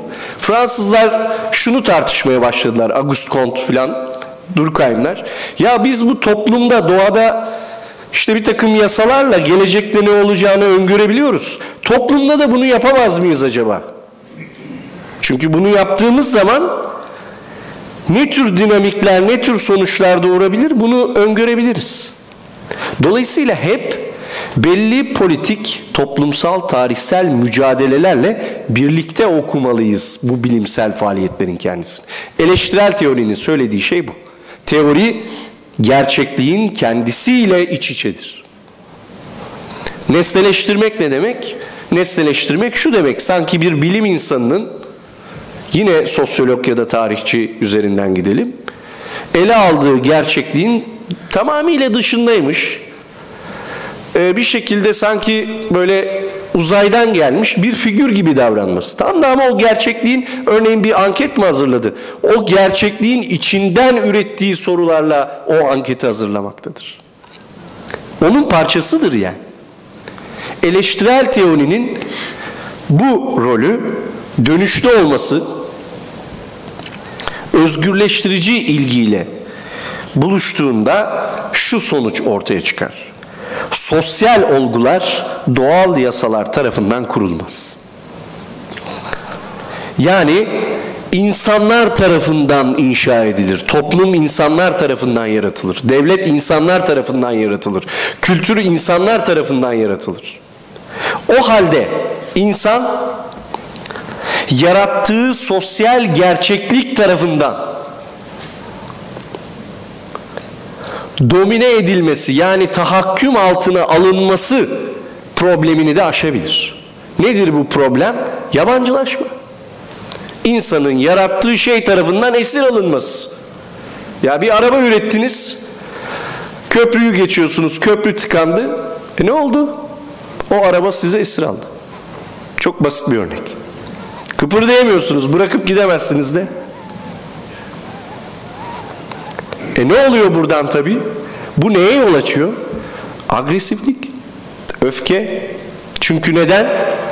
Aslında tam da hayatınızı kolaylaştırmak için ürettiğiniz ve aynı zamanda satın aldığınız bir meta olarak o nesnenin kontrol altına girdiniz. Son derece mutsuzsunuz. İşte diyor ki Horkheimer o makalesinde, tabi yabancılaşma bu kadar biraz basit bir örnekle aktarmaya çalıştım ama çok daha tabii karmaşık. Marx bunu işçinin üretimiyle, üretim süreciyle filan e, açıklıyor. Dolayısıyla tam da burada yapılması gereken şey şu eğer tarihsel, toplumsal gerçekliği bireyler olarak biz yaratıyorsak onu biz değiştirebiliriz. Özgürleşebiliriz yani. Söylediği şey bu. Şimdi tamam güzel. 30'larda yazdığı makale bunu söylüyor. Otonomi önemli ama otonominin praksiste birleşmesi lazım. Dış dünyayı dönüştürmek lazım. Çok güzel. Şimdi 1940'ların ikinci yarısında Adorno ile Horkheimer bir metin kaleme alıyorlar. Bu metnin adı 20. yüzyıla damgasını vuran bir metin bu. Aydınlanmanın diyalektiği. Bu metinde tabi artık şunun farkındalar. Ee, faşizm Avrupa'yı silip süpürmüş. insanlık namına hiçbir şey kalmamış. Benjamin'in ifadesiyle hiçbir kültür ürünü yoktur ki aynı zamanda bir barbarlık belgesi olmasın. Ee, böyle bir felaket geçmiş insanlığın üzerinden bir soykırım var. Yaşanmış holokost ve bunun üzerine yazılmış fragmanlardan söz ediyoruz. Bu metinde Horkheimer ve Adorno esasen şunu söylüyorlar. Aydınlanma evet biraz önce tarif ettiğim süreçte bir özgürleşme gerçekleştirdi. Biz bu özgürleşmeyi pratik üzerinden aşma teşebbüsünde bulunduk. Sadece biz dediği işte tüm Marksistler, Hegelci düşünürler. Fakat bu başarısız oldu. Üstüne üstlük yani sadece başarısız olması değil, aydınlanmanın kendisi eserin temel argümanı bir totaliterizme dönüştü. Aydınlanma MIT'e karşı harekete geçen bir akımken yani bilinemez olanı bilinebilir kılmaya çabalarken aydınlanmanın kendisi bir mit oldu. Bir angst durumu ortaya çıktı. Bir korku, kaygı durumu ortaya çıktı. Totaliter bir yapı ortaya çıktı. Bu üç basamaklı gerçekleşti. Bir, bir yıkım gerçekleşti. Doğanın yıkımı gerçekleşti. Nasıl doğanın yıkımı gerçekleşti? Özellikle Descartes'çı özne nesne ayrımından sonra Descartes'in öznesi doğa üzerinde tahakküm kurmaya başladı ve insan kendi kaderini doğa üzerinde egemenlik kurarak sağlamaya çalıştı. Ama bilmiyordu ki tahakküm kurduğu doğanın kendisi de bir parçasıydı. Onun üzerinde egemenlik kurdukça aslında kendi üzerinde egemenlik kurdu. Yani dışsal egemenlik içsel bir egemenliğe dönüştü. İnsan kendi iç doğasını kontrol etmeye çalıştı. Bunu neyle kontrol etmeye çalıştığını 14 Mart'ta anlatacağım. Nasıl olduğunu. Ee, yani ruh bir özgürlük alanı sunuyor ama o kadar da basit değil. Yani orada işleyen bir dominasyon, bir tahakküm de var. İçselleştirme pratikleri dediğimiz. Bu Marcuse'yi zaten o metni Foucault'a bağlayan hat bütünüyle. Bu bir, yani doğanın yıkımı. Bugün hala bu sorunu çok daha derinden yaşıyoruz. Yani Adorno dedik diyor ki modernite ve kapitalizm devam ettikçe bu söylediklerim gerçekleşecek. Gerçekleşmeye devam edecek. Daha da derinleşerek. İki, politik bir tiranlık ortaya çıktı. Ama sanmayın ki Hitler devrildiği zaman bu tiranlık bitti. Bu tiranlık devam edecek diyor. ABD'de de en özgür gözüken yerde de devam edecek. İçsel, kılcal bir şekilde. En böyle otoriter gözüken yerde de daha somut gözüktüğü için orada da devam edecek. Biri diğerinden daha özgürmüş gibi gözükecek ama öyle değil. Üçüncü olarak da benlik yıkıldı. Kendi doğamızı ortadan kaldırdık. Kendilik yıkıldı. Bunun yerine ne aldı? Marcuse 60'larda onun kitabını yazacak tek boyutlu insanda teknolojik rasyonelite. Teknoloji aldı. İnsan doğası teknolojikleşti. İşte bugün tartışıyoruz bu yapay zekalar filan. Daha çok tartışacağız. İşte otonomisi var mı teknolojinin yok mu?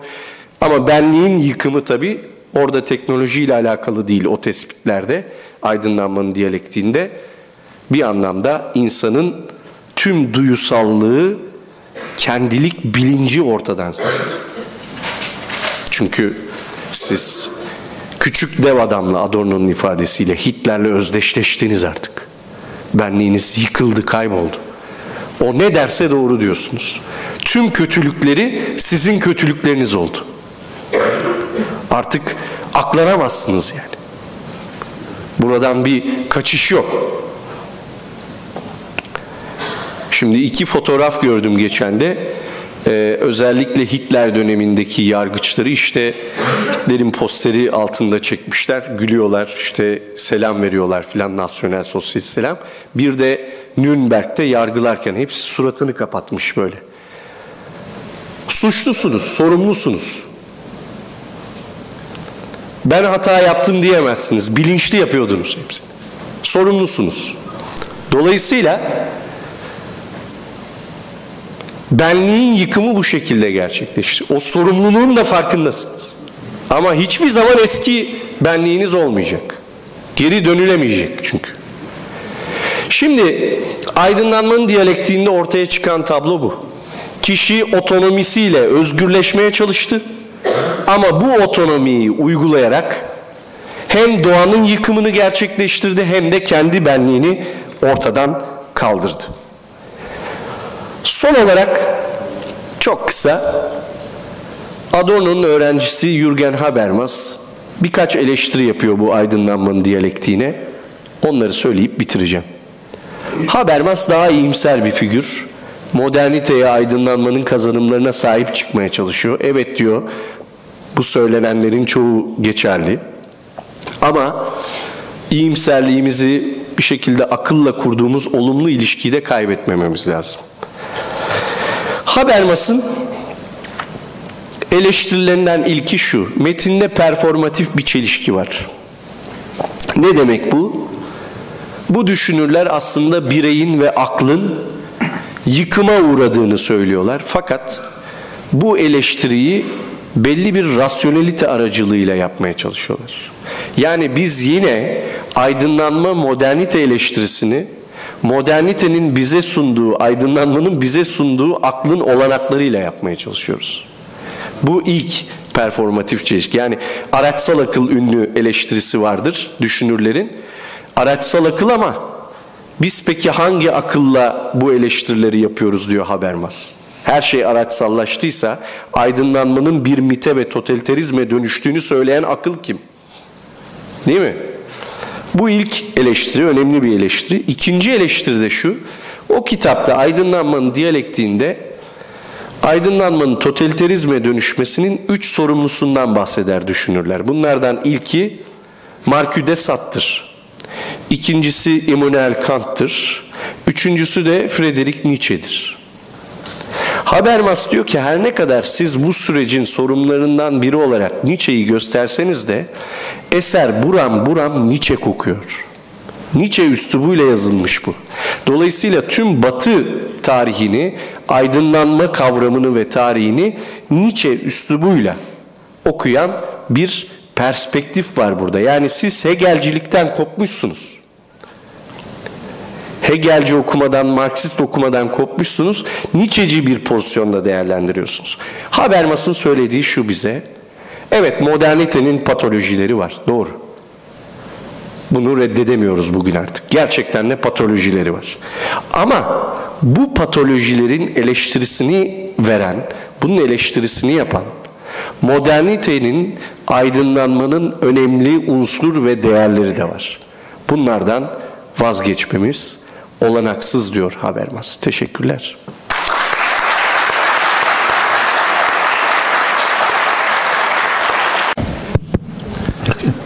Teşekkür ederek başlamak istiyorum. Ee, aydınlanma ve otoriterlik konusuna değindiniz. Ee, totalitarizme e, varan bir otoriterlik meselesinde Jacobenliği hem beraber hem ayrı farklı değerlendirmek mümkün mü? Yani bu konuda biraz daha detay verebilir misiniz? Bir de felsefe tarihi olarak ilgili aktarımda bulundunuz. Ee, kendi kişisel değerlendirmenizi de merak ettim. İkinci soruyu anlayamadım. Ee, yani Jacobenizmin e, hem içinde hem dışında e, daha detaylandırmak mümkün mü otoriterliği aydınlanma e, e, bağlamında?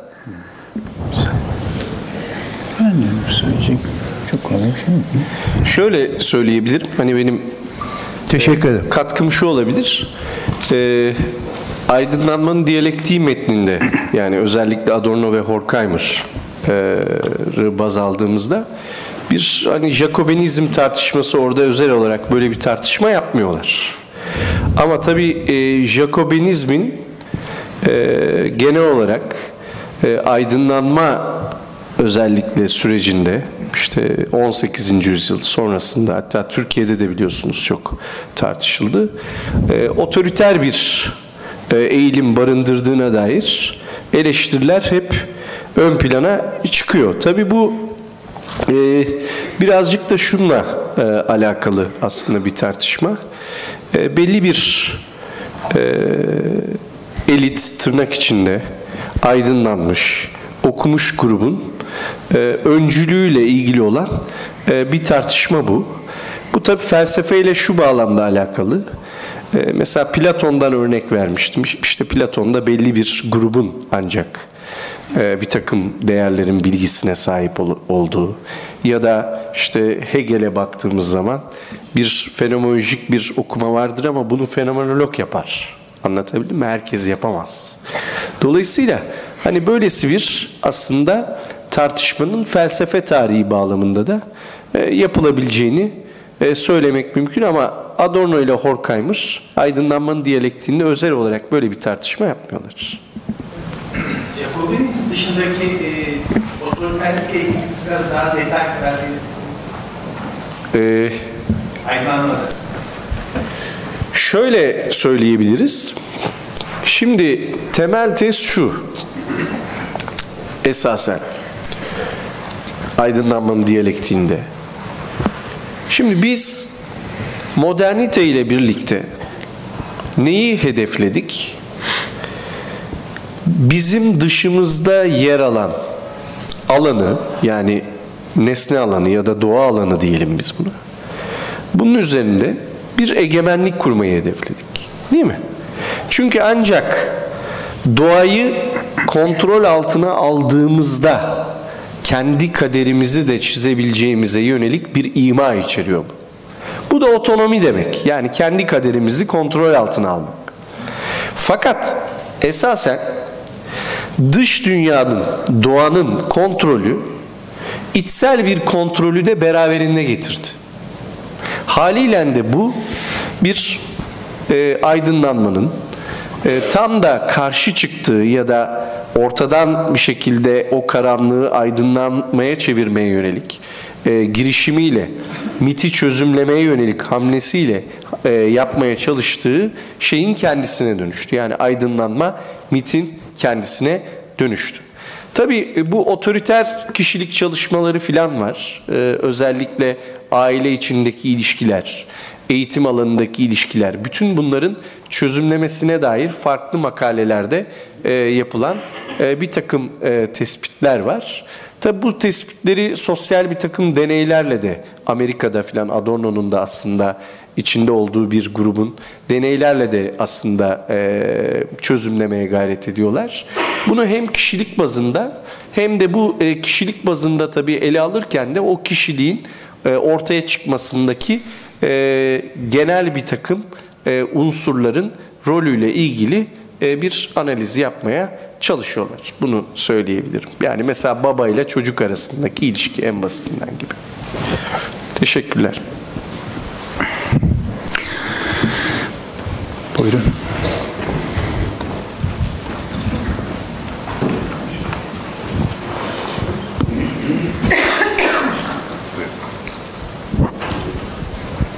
Hocam öncelikle çok teşekkür ederim. Çok güzel bir bilgi paylaşımı oldu. Aslında çok soru var da hakkım En zorundan başlayayım. Yok, kafamı en kurcalayanını söyleyeyim. Ee, şimdi ben şu an Hegel'in tarih felsefesini okuyorum. Hegel orada kendinde bilinç ve kendi için bilinci Herakleitos'tan temellendirdiğini söylüyor sanki. Ben öyle anladım. Yani Hegel felsefesinin e, önemli kavramlarını ya da Herakleitos'tan etkilendiğini söyleyebilir miyiz? Bir bunu sormak istiyorum. Bir de bu aşma kavramını Hegel'de aşma. Onu biraz açabilir misiniz? Teşekkür ediyorum. Biz teşekkür ederiz. Hmm. Herakleitos. Yani Herakleitos da kendinde ve kendi için kavramsallaştırması olamaz çünkü kendi yok. kendi diye kavram yok. O daha modern bir kavram. Ama yararlandığı en önemli şey sunumda da belirttim verden yani oluş, ola gelme. Bir şey haline gelme. Çünkü varlık ile yokluk arasında varlık dediniz mesela. Varlık dediğinizde neden bahsediyorsunuz? Şu varlıktan mı? Bu varlıktan mı? O varlıktan mı? Hayır, varlık. Varlık dediğiniz zaman herhangi bir özelliğe ya da niteliğe sahip bir şeyden bahsetmiş olmuyorsunuz. Boş bir soyutlama oluyor. O zaman aynı zamanda buna yokluk da diyebiliriz. Bir şey yok ki. Ama oluş kategorisi sayesinde, kavramı sayesinde bu oluş e, varlıktan yokluğa doğru geçiş vurgulanıyor. Yani ola gelme, devinim e, kavramların birbirlerinden çıkarsanması işine girişiliyor. Bu tabii mantık biliminde, büyük mantıkta ben ona yetmişlik mantık diyorum. E, burada işlenen bir konu. Tabii mantık, mantıktaki kavramların kendi iç işleyişleri ya da çıkarsanması işine girişmeden önce onun fenomenal tarafı yani kavramların görünen tarafı, görünüş tarafı, bilim ortaya çıkmadan önceki tarafına bakıyor Hegel. Bu işte Feuerbach'ın ve Marx'ın aslında bugün de değinecektim ama ama e, eleştirilerini boşa çıkartan bir anlayış. Zaman olursa buna değinirim. Diye diğer sorunuz aşma. E, bu Aufhebung İngilizce'de sublation diye koruyarak, kapsayarak aşma, kaldırma, yükseltme vesaire gibi anlamlar taşıyor. Bu e, Fenomenolojide, tinin fenomenolojisinde bilincin deneyiminin bilimini duyusal kesinlik ya da duyu kesinliği aşamasıyla başlıyor. Orada ben ve nesnesi arasındaki ilişki. Yani e, ben burada bilgi ölçütünü kendinde taşıyan benlikle e, dış dünyada ortamı hazırlayan şey. Mesela bu salon bize bir ortamı sağlıyor, bir nesne sağlıyor. Girdiğim zaman ben bunda kendindesi o hakikati bana çıkacak gibi dolaysızca ama yakınlaştığım zaman nesneyle kurduğum ilişkide o kendi iç çelişkilerine sahip. Dolaysızca bana nesnenin bilgisini vermiyor. Bakın burada koltuklar var, insanlar var, ses düzeni var, ışık var vesaire. Yani nesneye yakından baktığımda kendi iç ayrışmalarını ve bütünlüğünü gözlemliyorum. Oradan bir hakikat çıkmıyor. Kendi içime dönüyorum, refleksiyon yapıyorum. Düşünce kendi içine kıvrılıyor. Bu sefer benim o nesneye karşı tutum alışlarına bakıyor ve kendi iç çelişkisiyle birlikte bir tür özne nesne ilişkiselliğini bütünlük içerisinde algılamaya özen gösteriyor. Değil mi? Bunun tabii çok ayrıntıları var. Şimdi burası kavramsallaştırması, bu kavramsallaştırması. Orada kavram falan yok örneğin duyu kesinliğinde. Sadece duyumdan bahsediyoruz. Duyumumdan emin olmaktan bahsediyoruz. Sonra algı aşaması var. Şey ve özelliklerinden bahsetmeye girişiyoruz. Sonra kuvvet ve anlama yetisi bölümü var. Newton'cı kuvvet anlayışı, yasalar anlayışı ve Kantçı bilinç anlayışı. Bu ikisinin e, mekanize tugaylar diyorum ben ona. Onların ikisinin mekanik bir dünyada dış dünyanın bilincinde ortaya koyulma çabası bize bir tür burada da bahsettim totolojiyi gösteriyor.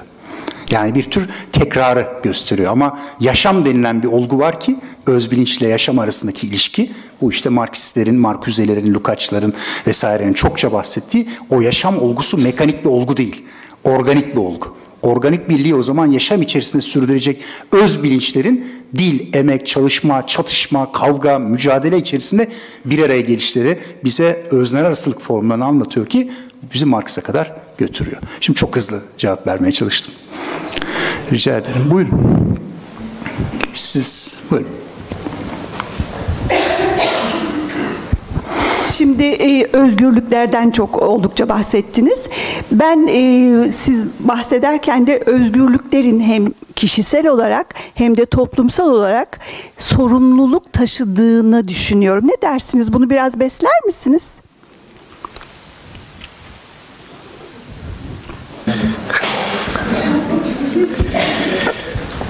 Şimdi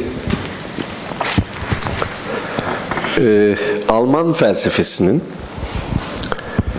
bize bugüne bıraktığı en önemli miraslardan birinin e, sorduğunuz sorunun arka planındaki varsayım olduğunu düşünüyorum.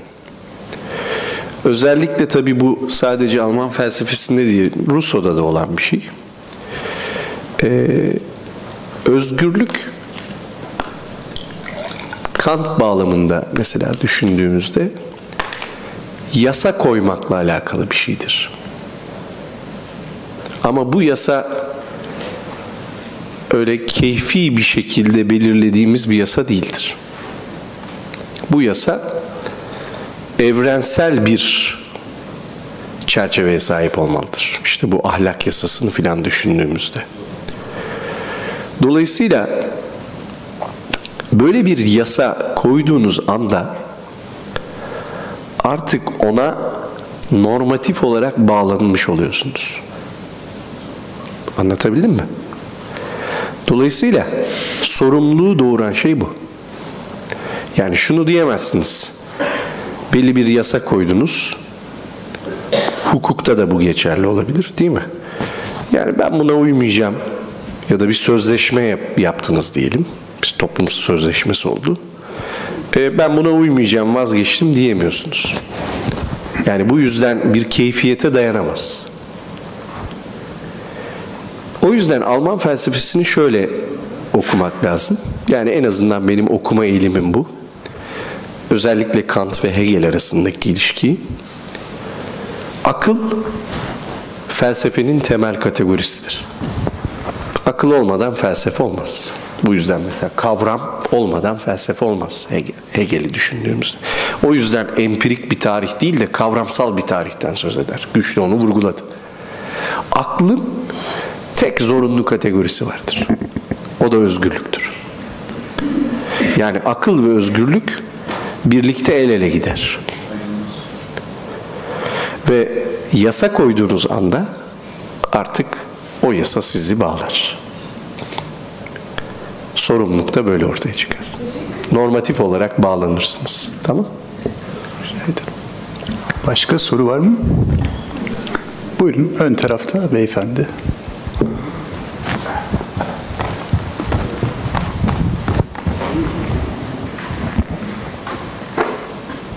Ee,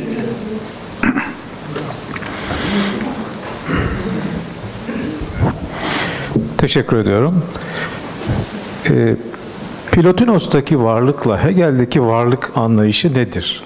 Ee, arasındaki bağı kurabilir misiniz? Teşekkür ediyorum. Sen. Plotinus. Ee, çok zaman oldu e, okuyalı. O yüzden içeriden olmasa da e, Hegel'in içerisinden e, anlatacak olursak oradaki bir takım geçişler var değil mi? Birden e, cisimlere, maddi cisimlere kadar bir taşma, bir sudur, emanasyon denilen şeyin kendisi var. O tabii başat Hegel açısından ama e, Spinoza'da olduğu gibi Plotinus'ta da bu geçişliğin faili, öznesi özgür birey değil. Özgür birey modern döneme özgü bir şey. Bu yüzden de o emanasyonun ya da sudurun taşmanın failliğini üstlenebilecek olan bir öznellik, ayrışma, tarihsellik mevcut değil diye düşünüyorum. En önemli fark sanki bu gibi gözüküyor. İlk elden. Haksızlık etmeyeyim ama ben. Başka sorunuz var mı?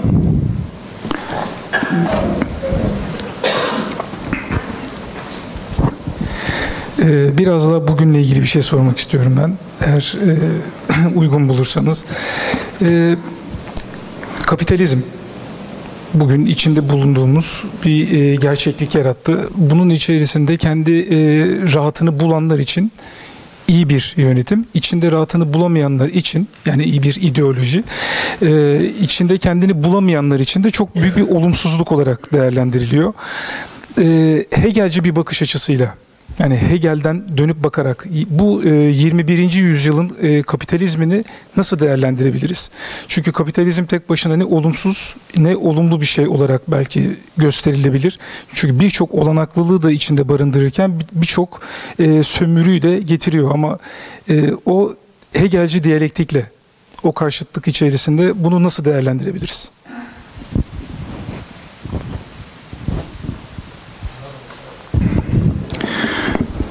Tabii şimdi 21. yüzyılın bir politik analizi çok kolay bir analiz değil. Krizler var vesaire var. İktisat bilgisi lazım. Yani Hegel'in e, en önemli düşüncelerinden birisi Kant'tan farklı olarak politik ekonomiyi bilen biriydi. Adam Smith'leri falan bilen biriydi. Yani toplumun işleyiş yasalarının ne olduğunu bilerek e, ve tarih felsefe ilişkisini de ortaya koyarak bunu açıklamaya çalıştı. O bayrağı daha önce Fichte'de bunu kapalı ticaret devletinde yaptı. Rockmore'un bu kitabında değiniyor kapalı ticaret devleti.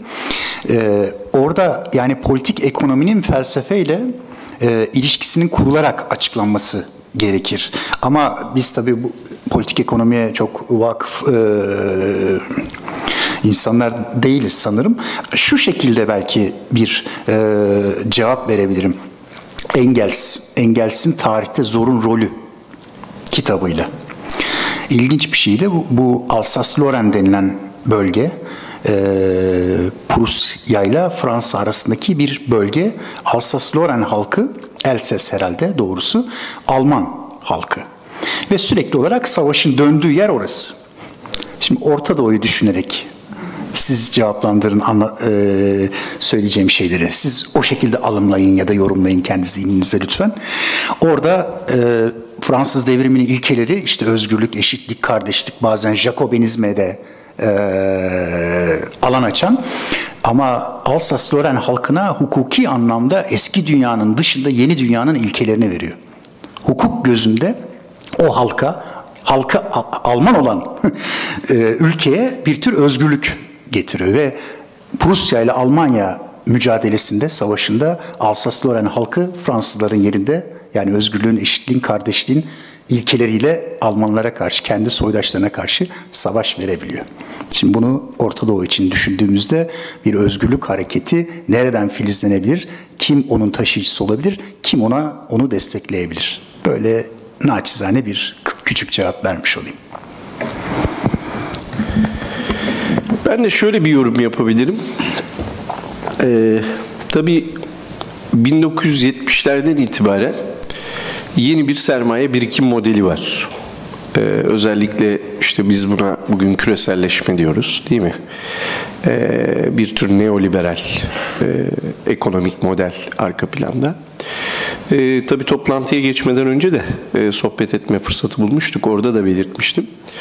Ee, kapitalizm bazında değil ama kapitalizmle birlikte aslında dünyayı bugün düşündüğümüzde e, küreselleşme e, hiç olmadığı kadar günümüzde e, bir bütünleşme, tümleşme ortaya koydu.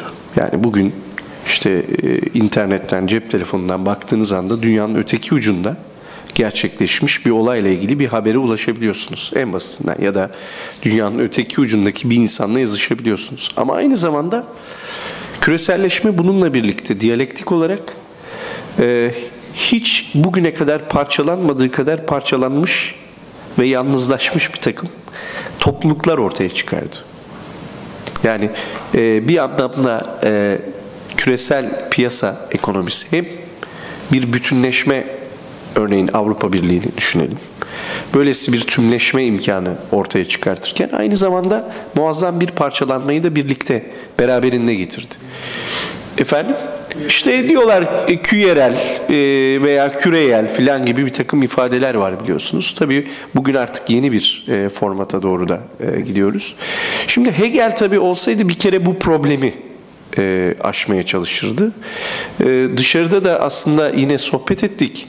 Yani postmodern teorilerin ortaya koyduğu hakikati, aynı zamanda işte Frankfurt Okulu'nun ortaya koyduğu hakikati de bütün bunlarla birlikte okumaya çalışırdı.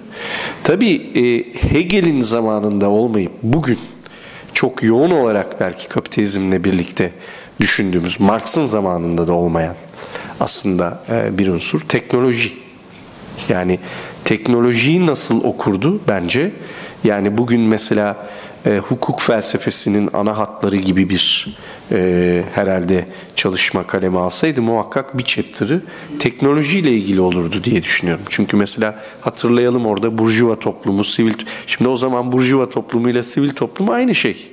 Devlet ve sivil toplum birbirinden ayrı. Ama 19. yüzyılda burada böyle değil ki. Sonra bunlar birleşiyor, savaşlar ortaya çıkıyor, teknoloji başka bir düzlem ortaya yaratıyor ve bugün ki e, kendisini hani Marx'ın düşüncesini devam ettiren düşünür olarak e, serimleyen her bir düşünürün söylediği bir şey var. Yani artık teknoloji ve bilim bugün artı değeri üretiyor. Sadece işçi değil. Bu yeni bir format. Mesela şimdi Negrileri, Hartları filan düşündüğümüzde Habermas'ın da iddiası bu mesela. Habermas bambaşka bir yerde durmasına rağmen bunu iddia ediyor. O yüzden hani kapitalizmle birlikte bence bu teknolojiyi çok derin bir şekilde e, sorgulardı diye düşünüyorum. Biraz önceki o tümleşme ve ayrışmayla bağlantılı olarak. Yani totaliteyi teknolojiyle birlikte okumaya çalışırdı diye düşünüyorum. Artı değer üretmesi bakımından kendi başına otonomi kazandığı için. Bir soru önce vardı. Teşekkürler hocam sunumunuz için. Ya ben şey üzerinden sor, tabii kafam çok dağıldı toparlayamıyorum. Belki toparlayamayacağım soruyu da. Ama şöyle başlayayım hani e, belki tarihin sonunda Fukuyama şöyle giriyor yani. Ben bu tarihin sonunda öcülüğü çok dalga geçtiler de veya şey yaptılar da hani ben buraya Hegel ve Marx'ın tarihin sonu anlayışından geldim aslında. Hani birisinin liberal ve burjuva bir tarih sonu öngörüsü vardı. Diğerinde komünal bir tarih sonu. E 90'lardan sonra da biraz maçta galip belli oldu. Ben de buradan yürüdüm diyor. Ve herhalde 11 Eylül'e kadar da o geçerli oldu o söylem biraz. 11 Eylül'den sonra biraz hikaye değişti. Kendisi Fakat, de değiştirdi. Evet, evet, evet. kendisi de değiştirdi zaten. Evet. Hani siz de mi bahsettiniz belki o big data dediğimiz hani belki en büyük yabancılaşma, yeni bir yabancılaşma türü bilgide yabancılaşma. Yani ürettiğimiz kendi bilgimize yabancılaşıyoruz. Ben bugün herhalde işte Akbil'le şuradan buraya geçtim, telefonla onu yaptım, bir yerde kahve içtim. Bu bilgi ya ben yabancıyım ama bir takım birileri bundan bir değer üretiyor, bir şey kazanıyor ve sosyal medyada oluşumun hepsinin karşılığı yok ama bir değer ve bir şey üretiliyor orada. Ben ama buna tamamen yabancıyım aslında. Yani kendi ürettiğim bilgi de çok acayip bir şekilde yabancı bir yere oturtamıyorum, bir yere konumlandıramıyorum. Fakat bir sistem sizin dediğiniz gibi belki teknoloji veya dataizm dedikleri veri, büyük veri bir yerde bu işi kurtarıyor. Peki tarihin sonunda tek görünen şey aslında bu gibi gözüküyor. Teknolojik tekillik diyorlar. Hani bir şey diyorlar. Yani yapay zekanın kendinden akıllı bir yapay zeka ürettiği an bunu 20 nesil çalıştırdığı, sabaha kadar çalıştırdığında biz onlara karşı bir karınca ile insan arasındaki fark kadar bir yerde kalacağız. Yani buradan bakınca ya gerçekten insanın özne olabilme şansı var mı ya? Hani buradan bakınca, böyle bir yerden bakınca veya özgürlük bu anlamda çok mu şey taşınabilecek bir değer mi? Belki Spinoza'dan bahsedildi. Hani en büyük fark belki şeydi anlamında da özgürlük ve determinizm açısından farklı belki e, o anlamda. Hani oraya döndüğümüzde de sanki orada bir yerde akışkan modernitede veya postmodernliğin de söylediği bir yerde bir özgürlüğün de biraz fazla orada ön plana çıkardı ve belki de ben şey diyorum hani tarihin sözde öznesi miydik yani öyle bir şey mi geçti ve o anlamda bir sorun mu var diye düşünüyorum. Teşekkürler.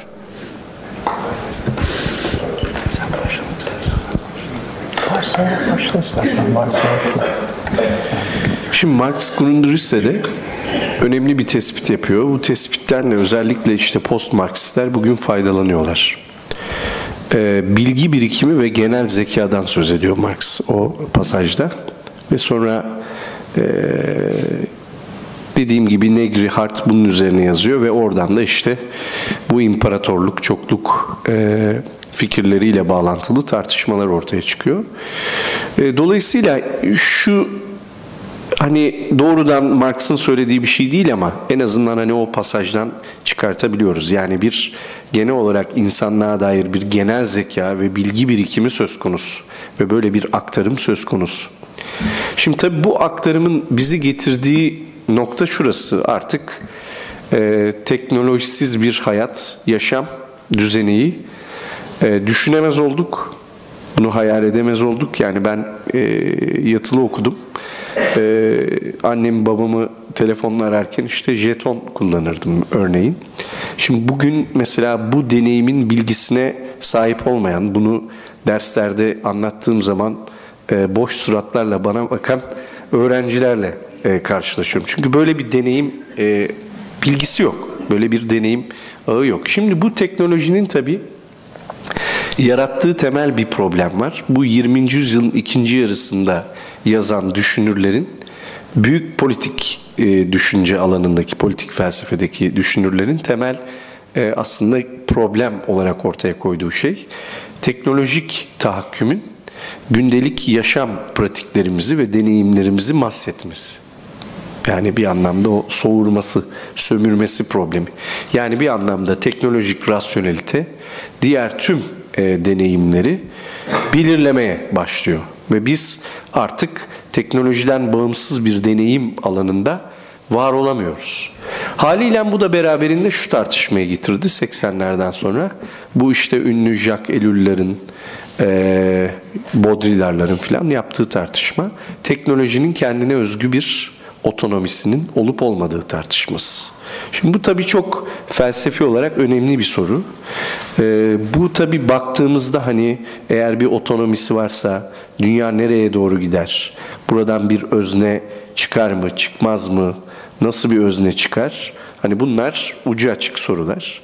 Ama eğer e, biz bir özne ya da kendilik üzerine e, bugün düşünmemeye ya da bunu düşünemeyeceğimize karar verirsek, böyle bir tespit yaparsak artık zaten e, felsefe yapamayız. Yani dolayısıyla hani buradan nasıl bir e, düşünce ortaya çıkar e, onu bilemiyorum açıkçası.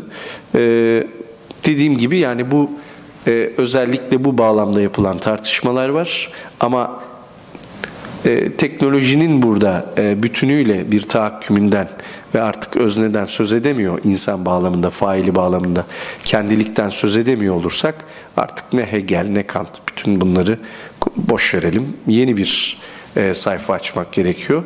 Hani bunun da çok e, hani en azından e, Hegelci bir düzlemden yani Alman felsefesi düzleminden baktığımızda ne kadar bu hani mümkündür e, emin değilim. Tabii Kurtul çok güzel anlattı. O kadar şey yapamayabilirim belki ama yani e, burada bir deneyim alanının eğer Hegel içinden konuşacak olursak Marx için de geçerli bu. Deneyim alanının genişlemesinden, eğriminin artmasından bahsettim. Deneyim alanı farklı farklı formlarda e, erimini genişletebilir. Bunlardan biri olduğunu düşünüyorum teknolojinin ve teknolojinin ortaya koymuş olduğu e, işte yapay zeka vesaire gibi bir şeyin otonomisinden, özgürlüğünden ne derece bahsedebiliriz? Orada bir zorunluluktan mı acaba bahsedeceğiz? Bir de insanlık tarihin bütün kazanımlarını sevgi gibi, aşk gibi işte e, bir ton e, duyguyu gerçekten içselleştirebilen bir özgür otomat olabilir mi? Bunun bel, bence hala taşıyıcısının biz olduğumuzu ve zorunlulukla özgürlük arasındaki e, ilişkiyi koyanın yani ayrımın ayrımı koyanın ve ayrımın üstesinden gelin, gelecek olanın da failinin ben insan olduğunu düşünüyorum. Ama nasıl bir insan? E, onu göreceğiz. Yani tarihte son evet diyordu Hegel. Fukuyama bunu kendine benzetti ama orada modern devletin kendi içindeki iç çelişkilerinin de bilincindeydi. Hegel ve toplumların ya da kıtanın ya da dünyanın bir tür devinime ihtiyaç olduğunu söylerken daha önce de söylemişimdir. Yaşlı kıta canımı sıkıyor diyen Napolyon'a gönderme yapıyordu. Tarih felsefesi metnini okuyorum demiştiniz siz hanımefendi. E orada diyor ki acaba diyor Amerika'da ve Rusya'da bir şeyler var, bir devinim var. Dingin olmayan. Orada ne olacak dediği zaman işte bir yerde Amerika yeni bir kıta olarak, büyük bir güç olarak çıktı. Bir yerde de Sovyetler Birliği bir güç olarak çıktı. Yani devindirici gücün her daim olabileceği gibi ve onunla malzemenin işlenip kavramsal bir felsefe yapılabileceğini Hegel'in kendisi söylüyordu. Bekleyip göreceğiz. Umutsuz değilim. Ee, bir şey eklemek istiyorum. Ee, şimdi e, aklıma geldi güçlü konuşurken. Ee, Her diye bir film izlemiştim. Ee, aşk. Ee, çok etkileyici bir filmdi. İşte kulaklıkla e, bir e, işte aşk yaşıyor tırnak içinde. Fakat bir süre sonra aynı konuşmayı binlerce insanla e, yaptığını öğrenince büyük bir hayal kırıklığı yaşıyordu oradaki karakter. O yüzden yani e, teknoloji de olsa belirleme ve olumsuzlama sanki e, devam edecekmiş e, gibi geliyor bana. O da orada da çünkü bir e, olumsuzlama vardı en sonunda. E, belki o bir fikir verebilir gibi geldi bana. Ama şöyle bir e, naif bir bakışa da sahip değilim bugün. İşte teknoloji kötü amaçlarla kullanılıyor, iyi amaçlarla kullanılsa e, işte daha iyi sonuçlar ortaya çıkar gibi e, böylesi bir e, naif bir düşünceye de sahip. E, evet yani öyle bir bakış açısına da sahip değilim. E, bu kadar hani basit e, olmadığını düşünüyorum e, meselenin. Ama belki o fikir verebilir. Çok teşekkürler. Buyurun.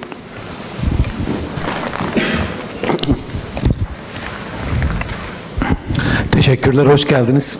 Gerçekten aydınlandık ve çok güzel de bir sunum oldu. Ee, Vakfınız sayesinde. Vakıf adı.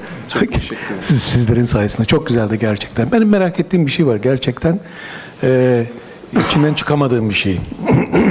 Aydınlanmayla birlikte özne ve özgürlük sorunu e, bir arada. Zoon politikon olarak insan e, öznedir ve özgür özne olursa e, aidiyetlerin gücünden, törenin, dinin etkisinden çıkarak kendi edimlerini gerçekleştirir.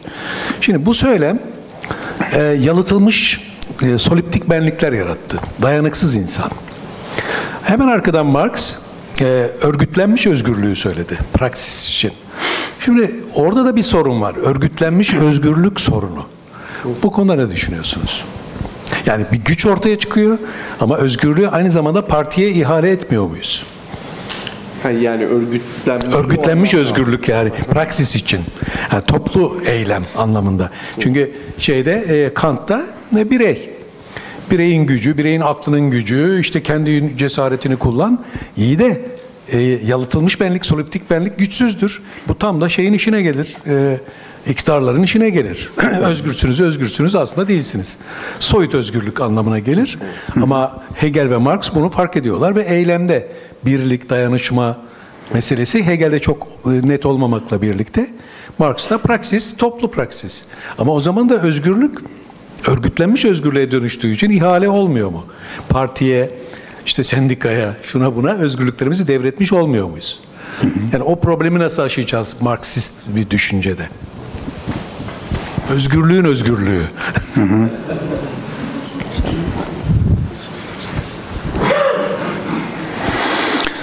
Yani bu işin dolaysız olacağını, dolaysız bir şekilde gerçekleşeceğini düşünmüyorum açıkçası. Yani e, komünizmse mesele ya da özgürleşme ise bu doğrudan olabilecek bir şey gibi görünmüyor. Bunun bir failinin olması lazım. Bu fail 19. yüzyılda modern devlet düşüncesiydi. Çünkü feodal ayrıcalıklardan kurtarılmış bir aydınlanmaya dayalı bir e, düşünce yapısı eğer ortaya konursa topluma da yayılabilir düşüncesi. Bu hem beraberinde bir tür şiddeti getirdi ki Hegel bunu işler aydınlanma terörist, terör bölümünde. Yani bir Jacobinizm işte aklın ilk, ilke ve ölçütleri bir defa bulunursa yayılabilir.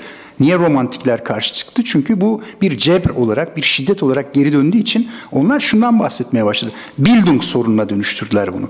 Yani toplumun, bireylerin tek terbiyesi, eğitimi, kültürlenmesi falan gibi anlayabileceğimiz. Ama bu kadim bir problem. Antik Yunan'da kendini bille özdeş, kendini tanımak aslında. Yani tek tek yetilerini açabilecek imkanın sunulması. Tek başımıza bunu başarabilir miyiz? Kemal ermek anlamında, tamlık anlamında.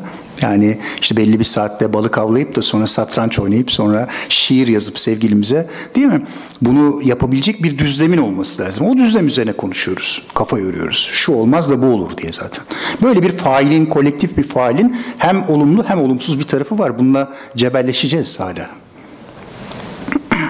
Şöyle diyebiliriz. Ee, özellikle bu e, entelektüel önderlik meselesi en önemli tartışmalardan biriydi zaten.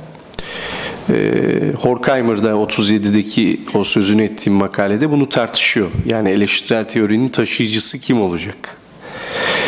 E, fakat tabii burada yine e, şöyle bir e, problemle karşılaşıyoruz. Tam da o havale etmenin hem otoriter bir takım ilişkiler hem de yozlaştırıcı bir takım ilişkiler doğurduğuna yönelik eleştirilerle karşılaşıldı.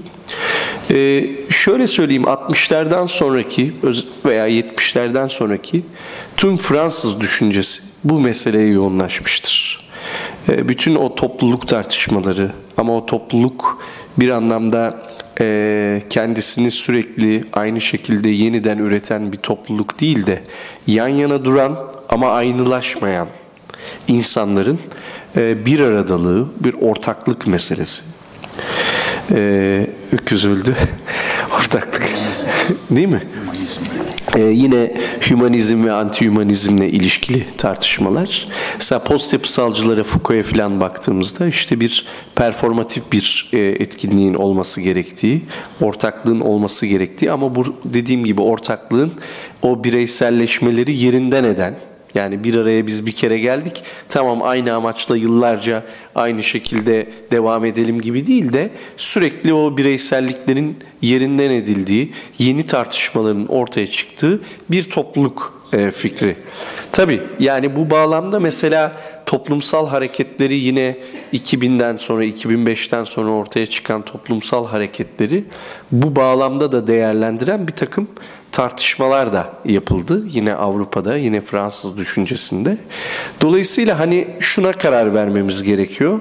Biz e, bu türden ortaklaşmaları özgürlük, kamusallık, yurttaşlık, yan yana gelme, ortak amaç bağlamında mı değerlendireceğiz? Yoksa e, ortaklığı bir anlamda e, aynılık üzerinden veya işte e, yurttaşlık üzerinden, kamusallık üzerinden değil de sürekli o bireysellikleri yerinden eden, yan yana duran ama aynılaştırmayan, sakın ha aynı olmayalım ya da benzer olmayalım perspektifiyle mi e, değerlendireceğiz? Mesele biraz bu ikilik üzerinden tartışıldı. Ya tabii şöyle şunu söylemek lazım. Yani artık e, şöyle e, yani devrim bağlamında ele alacak olursak e, politik e, örgütlen yani politik örgütlenmelerin bugün hani Leninist e, bağlamda yani Leninci bir bağlamda e, yapılması gerektiğine yönelik iddialara çok ciddi eleştiriler e, getirildi. İşte çünkü zaten otomatikman öncü fikrini beraberinde getiriyor. Haliyle öncü olduğu zaman zaten bir ayrışma söz konusu. Yani birileri için bir şeyler yapma fikri. O yüzden e, bu bağlamda hem siyasi partilerin yani bu anlamda öncü partilerin hem de entelektüelin, aydının rolüne dair çok ciddi tartışmalar yapıldı. Yani bugün şunu söyleyebiliriz yani bu görüşe e, birçok kesim özellikle devrim fikrini e, sürdürmeye çalışan birçok kesim e, bu fikre hiç sıcak bakmıyorlar. Ama bunun yerine bir e, alternatif ya da başka bir öneri var mı? Biraz önce söylediğim tartışmalar bağlamında yürütülüyor. Bir de sadece devrim bağlamında değil de yani şimdi konformist bireyler olarak biz büyük bir krizle e, karşı karşıya değiliz. Örneğin yani hem de hem öyleyiz hem değiliz aslında. Hayatımızı sürdürebiliyoruz. Ama İkinci Dünya Savaşı gibi örgütlü bir faşizmin kapınıza geldiğinde ne yapabilirsiniz? Örneğin orada rasyonel bir örgütlenme vardı ve karşı çıkıldı ve yenildi o faşizm. Bunu da düşünmek lazım. Tek tek konformist bireylerden oluşan bir toplum olursa o nesnel güce sahip olmayan yok olurduk. Yok olurdu. Yok, yok olurlardı.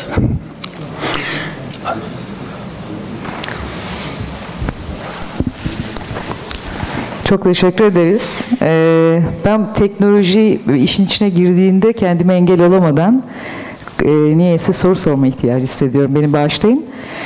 Ee, ben bir türlü bu e, siber mekanla e, gerçek mekan ne demek o da ayrı bir konu. Karşıt konumlandırılmasını, teknolojiyle insanın e, karşıt okunmasını tam oturtamıyorum. Yani mesela e, cyborglaşma benim için taş devrinde insanın bir taş aletini bıçağa dönüştürmesiyle yani el, eline eklemlenen bir alet yaratmasıyla cyborglaşmaya zaten başlamıştır. Ee, daha da ileri götürdüğümüzde işte eğer bugün cep telefonları elimizde e, bunun o bıçakla arasındaki çok büyük bir şeyi çok kavramsal olarak çok büyük fark olduğunu düşünmüyorum. Hatta insanın tam da doğa karşısında teknoloji üreterek insan e, e tarihini başlattığını düşünüyorum.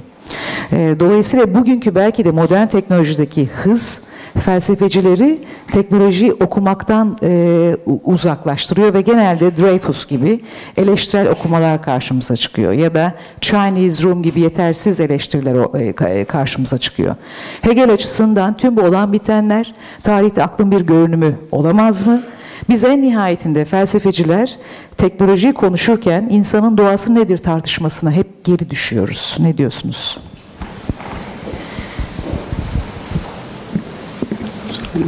Ben cyborg'tan çok anlamıyorum. yani bir kere şöyle e, e, başlayabiliriz. E, sizin sorunuzdaki varsayıma katılmıyorum. E, varsayım şu işte o e, bir şekilde balta yapmaya başladığı zaman ya da neyse e, o ilk dönemden itibaren e, böyle bir mücadele içine girdiğinde işte cyborglaşmaya başladı. Burada tabii e, hani belki klasik bir ayrıma gideceğim ama e, bunun yapılması gerektiğini düşündüğümden teknikle teknolojiyi biraz birbirinden ayırmak gerektiğini bu anlamda düşünüyorum. Yani o eylemin kendisi başladığı zaman doğayla kurduğu ilişkide e, bir cyborglaşmanın başladığına yönelik varsayım e, bence doğru bir varsayım değil. Yani teknoloji modernite ile birlikte artık yeni bir e, forma bürünmüştür. Biraz burada Heideggervari bir okuma veya bir örnek verecek olursam yani diyor ki artık bir anlamda e, söylediği şey şu biraz e, formüle etmek gerekirse artık baraj orada e, nehirle kurduğu ya da su birikintisiyle kurduğu ilişki bağlamında anlaşılamaz. Nehir artık baraj için akmaya başlamıştır diyor. Şimdi teknoloji ile kurduğumuz modern dünyadaki ilişki birazcık daha böylesi bir ilişki. O yüzden teknolojinin bir otonomi kazanıp kazanmadığına yönelik bir tartışma var. Şimdi bu mesela cyborglaşma örneğin işte Fransa'da galiba bir tanesi çip mi taktırmıştı e, beynine veya işte kulağına öyle hatırlıyorum. O çiple örneğin yaşamaya başlıyor. Şimdi çok orada örneği var evet çok değil mi? yani çok çok fazla cyborg çok fazla örneği var. Yani o mesela bir taş balta yapmakla doğrudan insanın kendisini teknolojik bir e, aletle ya da bir eklemle dönüştürmesinin aynı şekilde Elini güçlendirmekle yani bir taş bıçak yapmakla e, göremediği gözünü güçlendirmek arasında çok uçurum farkı yok. Uçurumsal fark yok. Yani insan doğası e, eğer bedene indirgersek bedenin e, yani doğanın e, kendini aşma arzusundan başka bir şey değil. Yani bu şu anda gördüğümüz daha gelişmiş bir biçimi cyborglaşma. Yani, böyle- eğer buradan okursanız cyborglaşmayı hatta siber mekanı ben e, bir duman dumanla haberleşmeden bile başlatabilirim. evet işte dediğim gibi Yani, yani, siber siz- yani orada e, şeyin arkasındaki gereksinime bakarsanız, hangi gereksinimle yapıldığına bakarsanız, e, cyborglaşan, işte renkleri göremeyen ama sesle, Evet. et, kendisine takılan bir aletle renkleri ayırabilen kişi, kendi doğal yetisindeki yetmemezliği e, aşma gayreti içerisinde. Evet. Dolayısıyla o bıçağı yaparken de kişi aynı gayret içerisinde. Evet. Ama şöyle bir örnek de verebiliriz. Mesela Black Mirror dizisinin ikinci şeyini hatırladığımızda bölümünü e, izlemeyenler için söyleyeyim.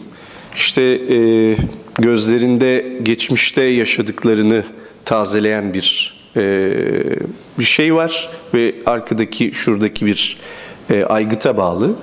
Dolayısıyla otomatikman e, bunu sürekli takip edebiliyorlar. Mesela böylesi bir e, örneğin perspektifi düşündüğümüzde e, birazcık daha farklı değerlendiriyorum ben. Yani Distopik diyebiliriz. Aha. Hı hı. Yani bugünün insanı için distopik diyebiliriz. Evet. Ama bir gereksinim olmadığını söyleyebiliriz. Dediğim gibi yani ben o varsayımla aynı paralellikte değilim. Birazcık daha belirgin e, bir fark olduğunu düşünüyorum. E, tabii Habermas'ın da mesela bu konuda insan doğası ve teknoloji arasında kurduğu e, ilişkiye yönelik bir e, çözümlemesi var. E, Kaan Hoca'nın bizim e, çevirdiği. E, işte en önemli özelliği şu yani teknolojinin aslında bir artı değer üretmesi. Yani onu vurgulamaya gayret ettim ama e, modern dönem öncesindeki e, o tekniğin böylesi bir e, belirleyici bir e, unsuru e, olmadığını söyleyebilirim. Yani e, benim kişisel olarak perspektifim bu. Arkadaki beyefendi.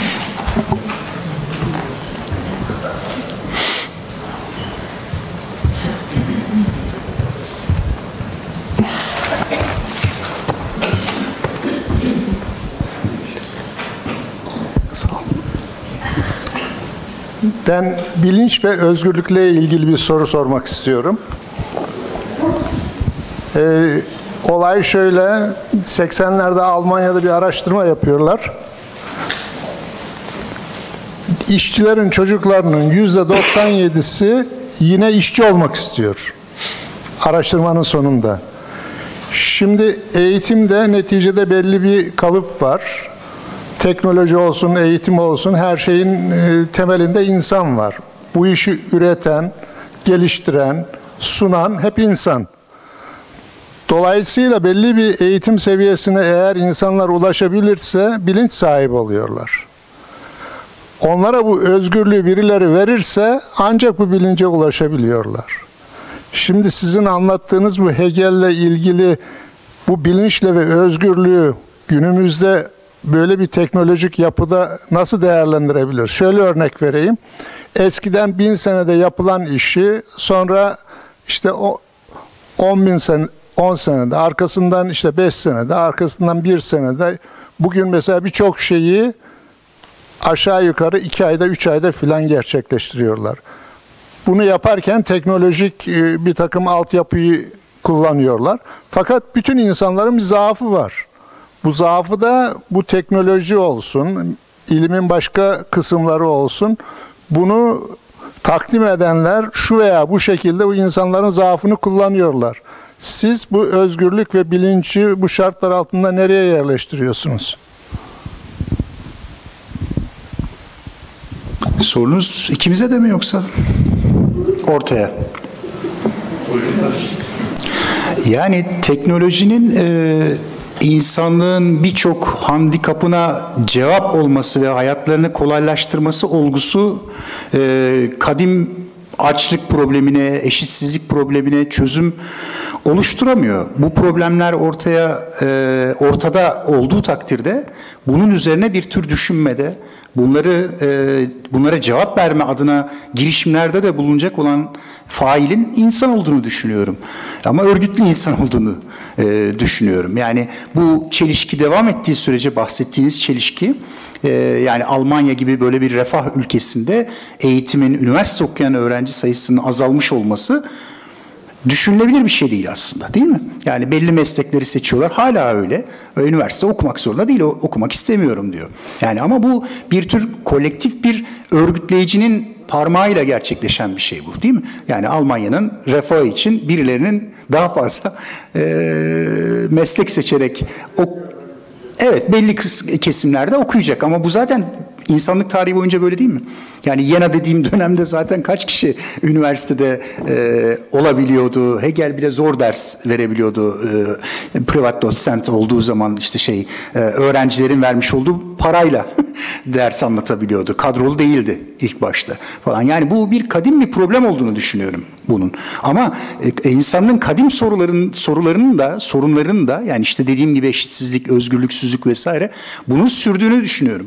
Yani dış görünümle tekniğin ilerlemesi ya da bir başka şeyin ortaya çıkması sibernetik vesaire bilmem ne. Bunlar o kadim problemlerin kadim problemlerle ilişkilendirilebilir. Ama onları aşamaz. Aşamıyor da zaten. Bir şey demek ister misin?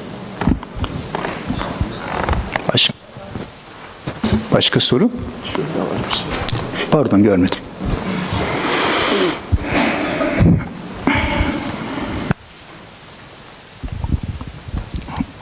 Çok teşekkür ederiz. Çok güzel bir sunumdu.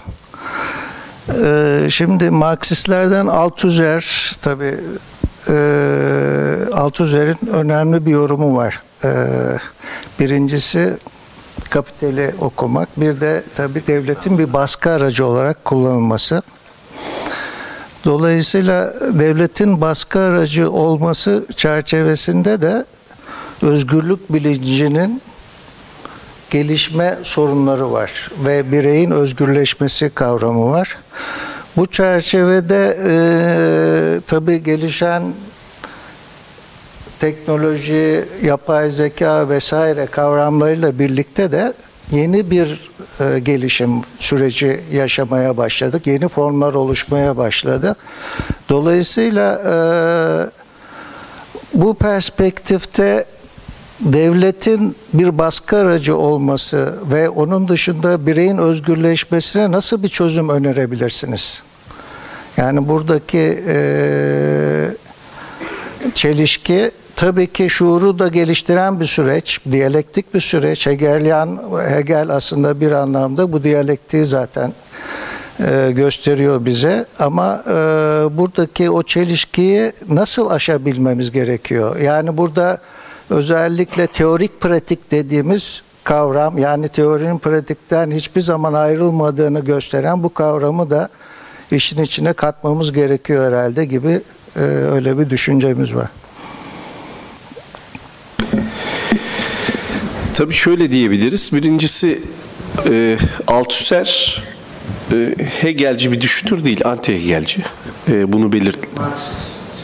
E, Marksist ama şey yani anti-hümanist ve Hegel'in e, idealist olduğunu e, iddia ediyor ve Marx'ın e, 1845'e kadar e, bu idealist sapmanın e, etkisi altında e, olduğunu e, düşünen bir e, filozof. E, dolayısıyla hani Hegel'deki gibi bir bilinçlenme ve bir özne olma gibi bir tasarımı yok Althusser'in. Kere bu hani önemli bir e, ayrım. E, bununla birlikte tabii ideolojinin kendisini de e, Althusser e, birçok Marksistin yorumladığı gibi böyle bir yanlış bilinç, e, bir yanılsama olarak okumuyor. E, çünkü özne teorisi olmadığı için haliyle de ideoloji bilinçle e, alakalı olarak e, okuması kendi içinde bir tutarsızlık taşıyacağı için e, böyle bir bakış açısı yok. Tabii e, söylediğiniz gibi e, yani ideoloji ve devletin ideolojik aygıtlarında işte özel ideoloji, genel ideoloji ayrımı yapar. E, kurumlarla da e, tabii ilişkilendirir. Haliyle tabii burada teknoloji e, meselesini e, kendi perspektifine de uygun bir şekilde yapısal bir düzlemde e, okur ve bu yapısal düzlemle alakalı çözümlemeler yapar ve e, çıkış önerisinde bu bağlamda e, sunardı diye düşünüyorum ama söylediğiniz gibi Hegelian bir e, açılımla özne olmak, teknoloji bilinç ilişkisi gibi bir perspektiften meseleyi değerlendirmeyeceğini en azından e, tahmin ediyorum. Yani benim e, ama işte Althusser öyle bakmıyor pek.